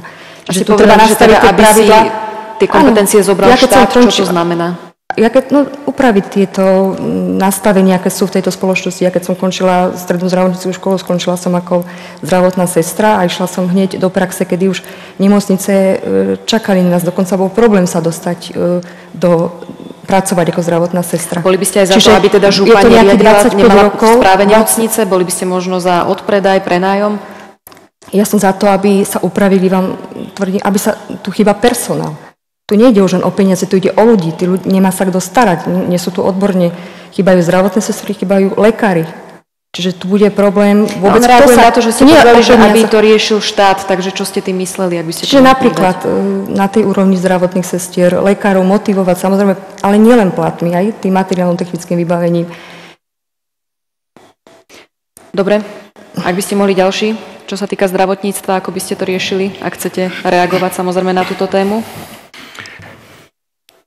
Tu skutočne nejde lekárom o tie platy, pretože e, áno, oni chcú slúžiť našim ľuďom, chcú ich ošetrovať, chcú ich liečiť, ale vážne ide o systémové zmeny, ktoré požadujú a to hlavne oceňovanie ich výkonov, ktoré štát nerieši. Taká nemocnica, ja neviem, v Ružomberku dostane za výkon neurochirurga 7 eur za to, že tam príde nejaký pacient na vyšetrenie. To je absolútne scestné, čiže táto vláda by to malo riešiť a, a tu sú predstavitelia jednotlivých politických strán, ktorí to nikdy neriešili a vážne silný predseda kraja na to môže vplývať. Pán Drost, vy máte asi, nie, pani Boková, vy máte najviac času. Vy ste sa k tomu už tiež vyjadrovali. Chcete ešte k tomu niečo dodať? Alebo ja by som ešte tému? k tomu dodal všetko aj ku, ku tým platom. Ja by som, e, nech sa spýtajú tí, ktorí majú také platy, nejakého robotníka v Kii pri linke, ktorý tam dre 8 hodín, ktorý tam nemá s prepačením čas ani kedy na WC zajsť a zarobí tam 1000 eur oproti platu. Samozrejme vec, že znižiť platy. Nemôže mať županka taký plat, to je, to je výsmech v tejto dobe občanom Slovenskej republiky, občanom, chudakom, ktorí sa starajú o zdravotne ťažko postihnutých ľudí, konkrétne aj ja, e, ktorí ľudia, ktorí robia, ktorí drú za 500, za 600 eur. Nemôže mať taký plat. Samozrejme, prvé, keď sa, e, keď sa dostanem na župu, prejdem všetkých, kto koľko zarába. Tam sa dá znižiť. A ináč župa e, má rozpočet 240 miliónov, alebo vyše, vyše 240 miliónov. Čo tu stále rozprávame o nejakom e, znižovaní alebo šetrení? Čo už ten slovenský národ, čo už uťahuje opasky, ešte ich máme uťahnuť ešte pod krkom? Stále o niečom rozprávame, šetrenie, šetrenie a koľko ich? 30 rokov sa tu šetrí a nikde sa to nepohlo.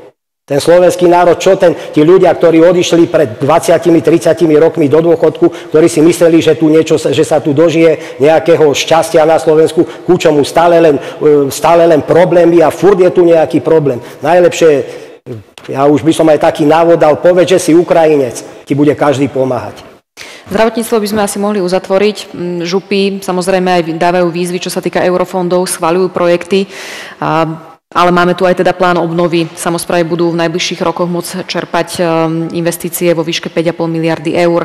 Na plánu, uh, na teda rekonštrukciu kultúrnych pamiatok je vyhradených 120 miliónov eur. Peniaze sa môžu využívať na budovanie cyklotras, uh, zvyšovanie alebo teda rozširovanie kapacít v školách a tak ďalej akým spôsobom by ste využili tie peniaze, rozbehnuté projekty, aké by ste stihli vo volebnom období nasledujúcom a podobne, ak by som vás mohol poprosiť, pani Boková.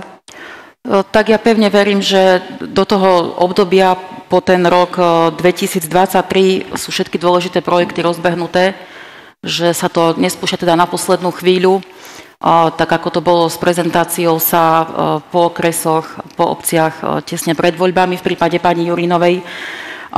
Priznám sa, ja nie som ekonóm, Takže toto je problematika, na ktorú by som sa posadila práve s ľuďmi, ktorí majú správu eurofondov v kraji, v kraji na starosti a naozaj sa spolieham na to, že tam teda všetky tie dôležité projekty boli rozbehnuté, ale cyklotrasy sú fajn, trávenie voľného času, podpora turizmu, to je všetko fantastická vec.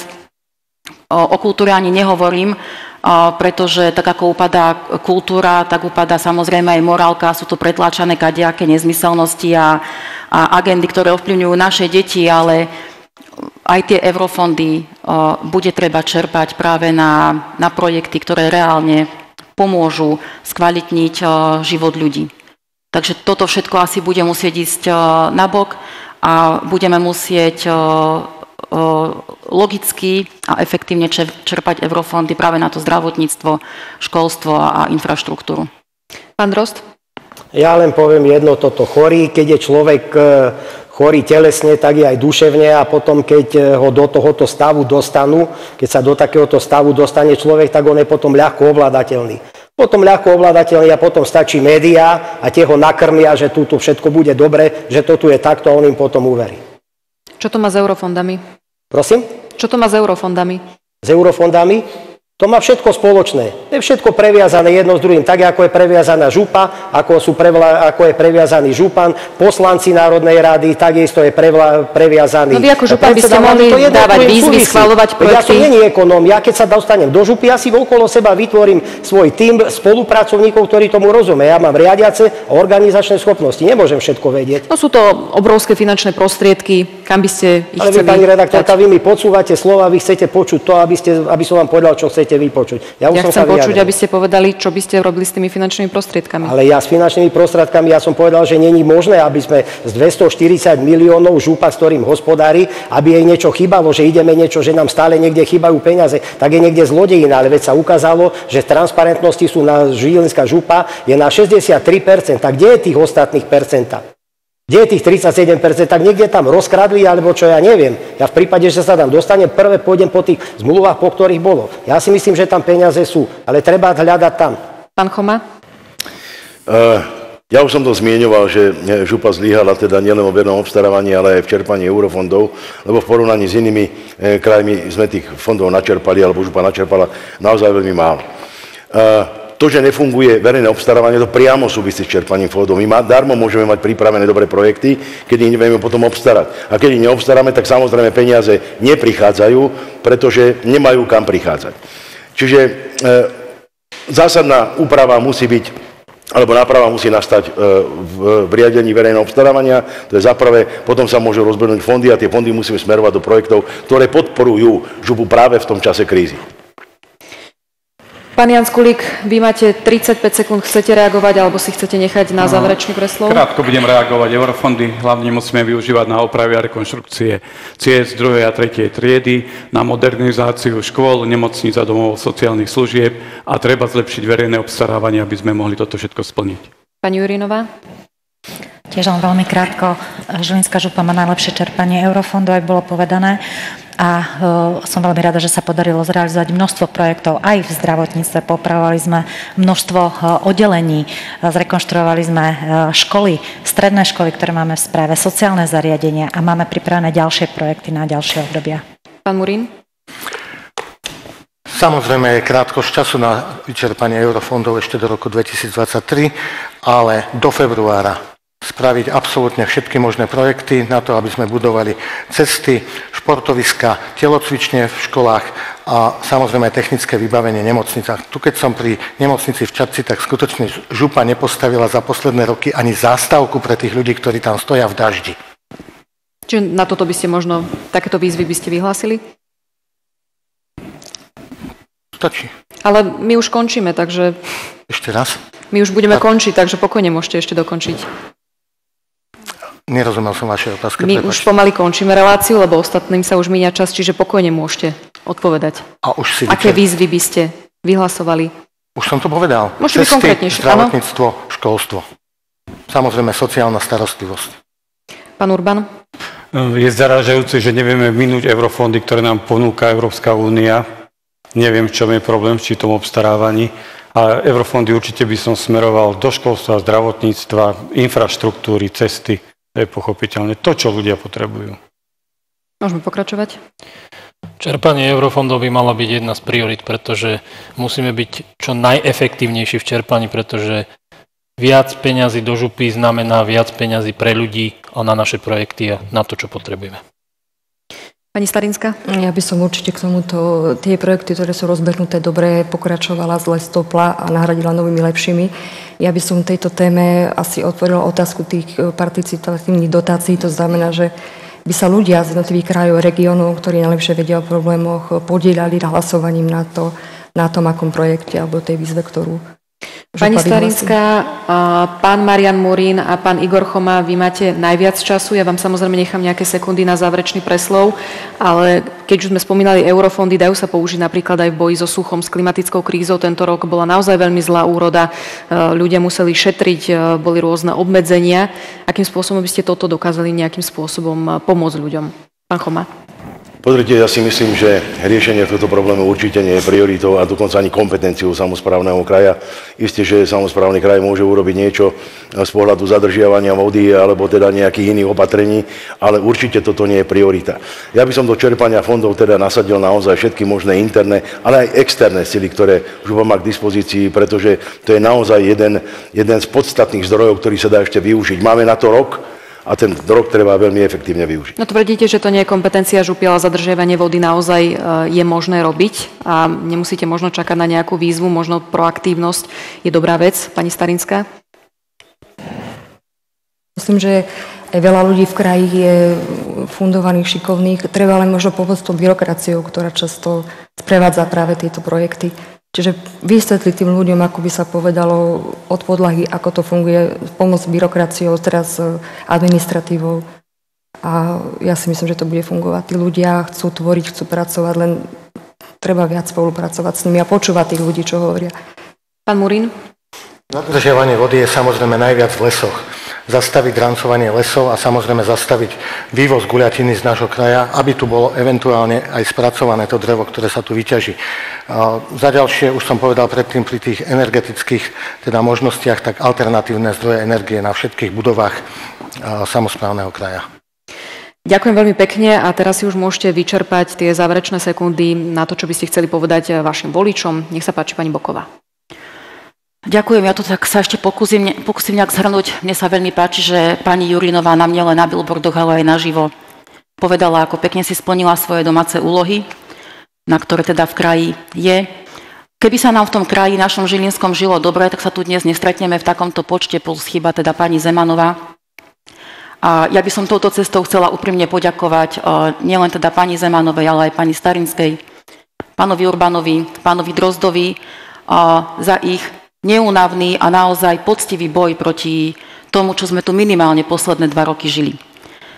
Predpokladám, že ostatní protikandidáti, ktorí teda zastupujú a reprezentujú tie silné strany, eh, pravdepodobne uzavrú nejakú dohodu, nenechajú to v takejto pozícii, ako to je teraz. Aj my sa musíme zomknúť. A keďže ja cítim v sebe to odhodlanie a dovolím si povedať s prepačením za výraz, mám na to aj tie politické gule, ktoré nenašiel nikto iný. Naši predsedovia sa nedokázali stretnúť za jedným stolom všetci naraz, tak ak chceme tento boj doviesť do úspešného konca, tak vás touto cestou vyzývam, aby sme sa spojili v prospech toho najpriechodnejšieho z nás. Bez akéhokoľvek ega si myslím, že som to práve ja. A pani Starinská, pán Urban, vy ako lekár, pán Drost, pani Zemanová, ktorá je doma, určite by v kraji pod môjim vedením mali svoje zastúpenie na funkciách a na stoličkách, ktoré budú absolútnym prínosom pre kraj a verím tomu, že aj týmto vysielam jasný signál, že mám ambíciu a schopnosť spolupracovať. Verím, že to bude prijaté s pozitívnou odozvou. Pán Drost, vaše záverečné sekundy? Drahí občania Slovenskej republiky a Žilinského samozprávneho kraja, pomôžte mi, spolu to dokážeme. Nakoniec chcem zaželať vám pevné nervy, veľa zdravia, šťastia, Božieho požehnania vašim rodinám. A nezabudnite, kto nestratí nádej, má nádej. Ďakujem. Pán Choma? Uh, stené dámy, vážení páni, uh, hnutie Olano nám všetkým denodene ukazuje, že nie je schopné riadiť ani nie len štát, ale ale ani Žilinský samozprávny kraj. Tie veľké zlyhania, o ktorých sme tu dnes rozprávali a o ktorých už píšu a rozprávajú e, médiá, to len potvrdzujú. A hoci je pani Urinová možno dobrá učiteľka, určite e, nie je dobrá manažérka a nezvláda riadenie tak, tak dôležité inštitúcie, ako je Ženinský samozprávny kraj. Bohužiaľ aj KDH prostredníctvom svojho župana ukázalo, že v tých kritických chvíľach jednoducho sa pán vicežupan otočí chrbtom, zradí, odchádza a tvári sa, že s tým nemá nič spoločné. Toto takto nefunguje jednoducho. E, dámy a páni, ja ponúkam iný spôsob riadenia župy, e, dostatočne manažerský, dostatočne razantný, dostatočne dôrazný a predovšetkým odborný. E, so zreteľom na všetky generácie našeho kraja, so zreteľom na všetky regióny našeho kraja a so zreteľom predovšetkým na zdravý rozum. Takže uchádzam sa, dámy a páni, Poprosím vás po... ukončiť myšlienku. Pokorou o vašu, o vašu podporu a verte, že nesklamem. Pán Jan Skulík. Vážení obyvateľia Horného považia, Kisúc, Liptova, Oravy a Turca. Mám za sebou silný tím starostov, primátorov, mám bohaté skúsenosti z riadenia, poznám najlepšie problematiku chodu úradu a najlepšie poznám problémy v kraji. Župa sa nesmie riadiť politicky, ale musí sa riadiť odborne a ľudsky. Pani Jurinová? Milí obyvateľia Žilinského kraja, mnohé veci, o ktorých moji spolukandidáti rozprávali, my už reálne na nich pracujeme a aj ich posúvame ďalej. Máme rozpracovaných mnoho projektov a veľmi radi by sme zúročili všetky e, poznatky, ktoré sme za týchto 5 rokov sa naučili. Máme zohratý tím a naozaj v ťažkom období, ktoré teraz prichádza, je dobré pevne držať kormidlo a preplávať budlivými vodami aj energetickej krízy. Sme na to pripravení a tešíme sa naozaj na to, že budeme vedieť realizovať všetky pripravené projekty, Tiež vás poprosím ukončiť. Pán Murin. Ďakujem pekne.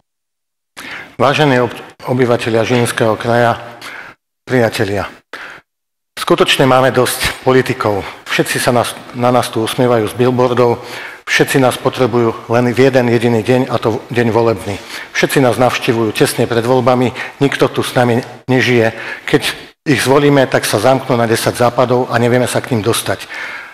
Ponúkam zmenu, skutočne viem riadiť, viem hospodáriť s peniazmi a samozrejme chcem žiť v našom kraji. Úprimne vám sľubujem, že budem slúžiť tomuto kraju a vám. Máte ešte 34 sekúnd, necháte ich tak? Ešte potom ich môžeme využiť. My už končíme. Aha, dobre. Takže ďakujem za vašu podporu a dôveru. Pán Urban. Milí spoluobčania, uchádzam sa o podporu vo voľbách župana Žilinského kraja s víziou lepšieho života, lepších služieb v našom kraji s dôrazom na zdravotníctvo, školstvo, kultúru, šport, cestovný ruch. Verím, že spolu s, s týmom z, naši, z nášho hnutia republika dokážeme zlepšiť život našich spoluobčanov, aby mohli lepšie, mať lepšiu kvalitu života, aby z nášho kraja neodchádzali mladí ľudia. Ďakujem. Pán Sliško. Priatelia, Žilinský kraj je krásnym kusom Slovenska no potrebuje viac. Potrebujeme zlepšenie v oblasti dopravy, lepšie zdravotníctvo a potrebujeme aj ohľad na našich seniorov. Preto mi dovolte mene mňa a celého môjho týmu povedať vám, že my vidíme priestor v zlepšení. Sme pripravení priniesť manažerský prístup s orientáciou na výsledky. Kandidujem pod stranou Hlas sociálna demokracia, ktorá sa orientuje na, na budúcnosť a na pomoc ľuďom. Našim cieľom je priniesť kraj, ktorý bude súdržný. Kraj Oravy, Liptova, Turca, Považia, Kisúc. Kraj, na ktorý budeme hrdí. Ďakujem. Pani Starinská. Ja poviem to, čo aj na začiatku mojou víziou je spravovať kraj do budúcna, Žilinský samozprávny kraj ako kraj, ktorý je potravinovo a energeticky sebestačný a kde ľudia žijú naozaj bez strachu o budúcnosť. Nevyužite zvyšný čas. Ďakujem vám. Pán Murín, už ste mali, ne, už nebudem vás e, takto, mali ste príležitosť. Ďakujem vám veľmi pekne za vašu účasť, za túto diskusiu. Pekný večer vám želám. Vám samozrejme pri televíznych obrazovkách ďakujeme za priazeň a v diskusiách pokračujeme a už aj zajtra zostávame v Žilinskom samozprávnom kraji a prinesieme vám diskusiu s kandidátmi na primátora mesta Žilina. Pekný večer, dovidenia.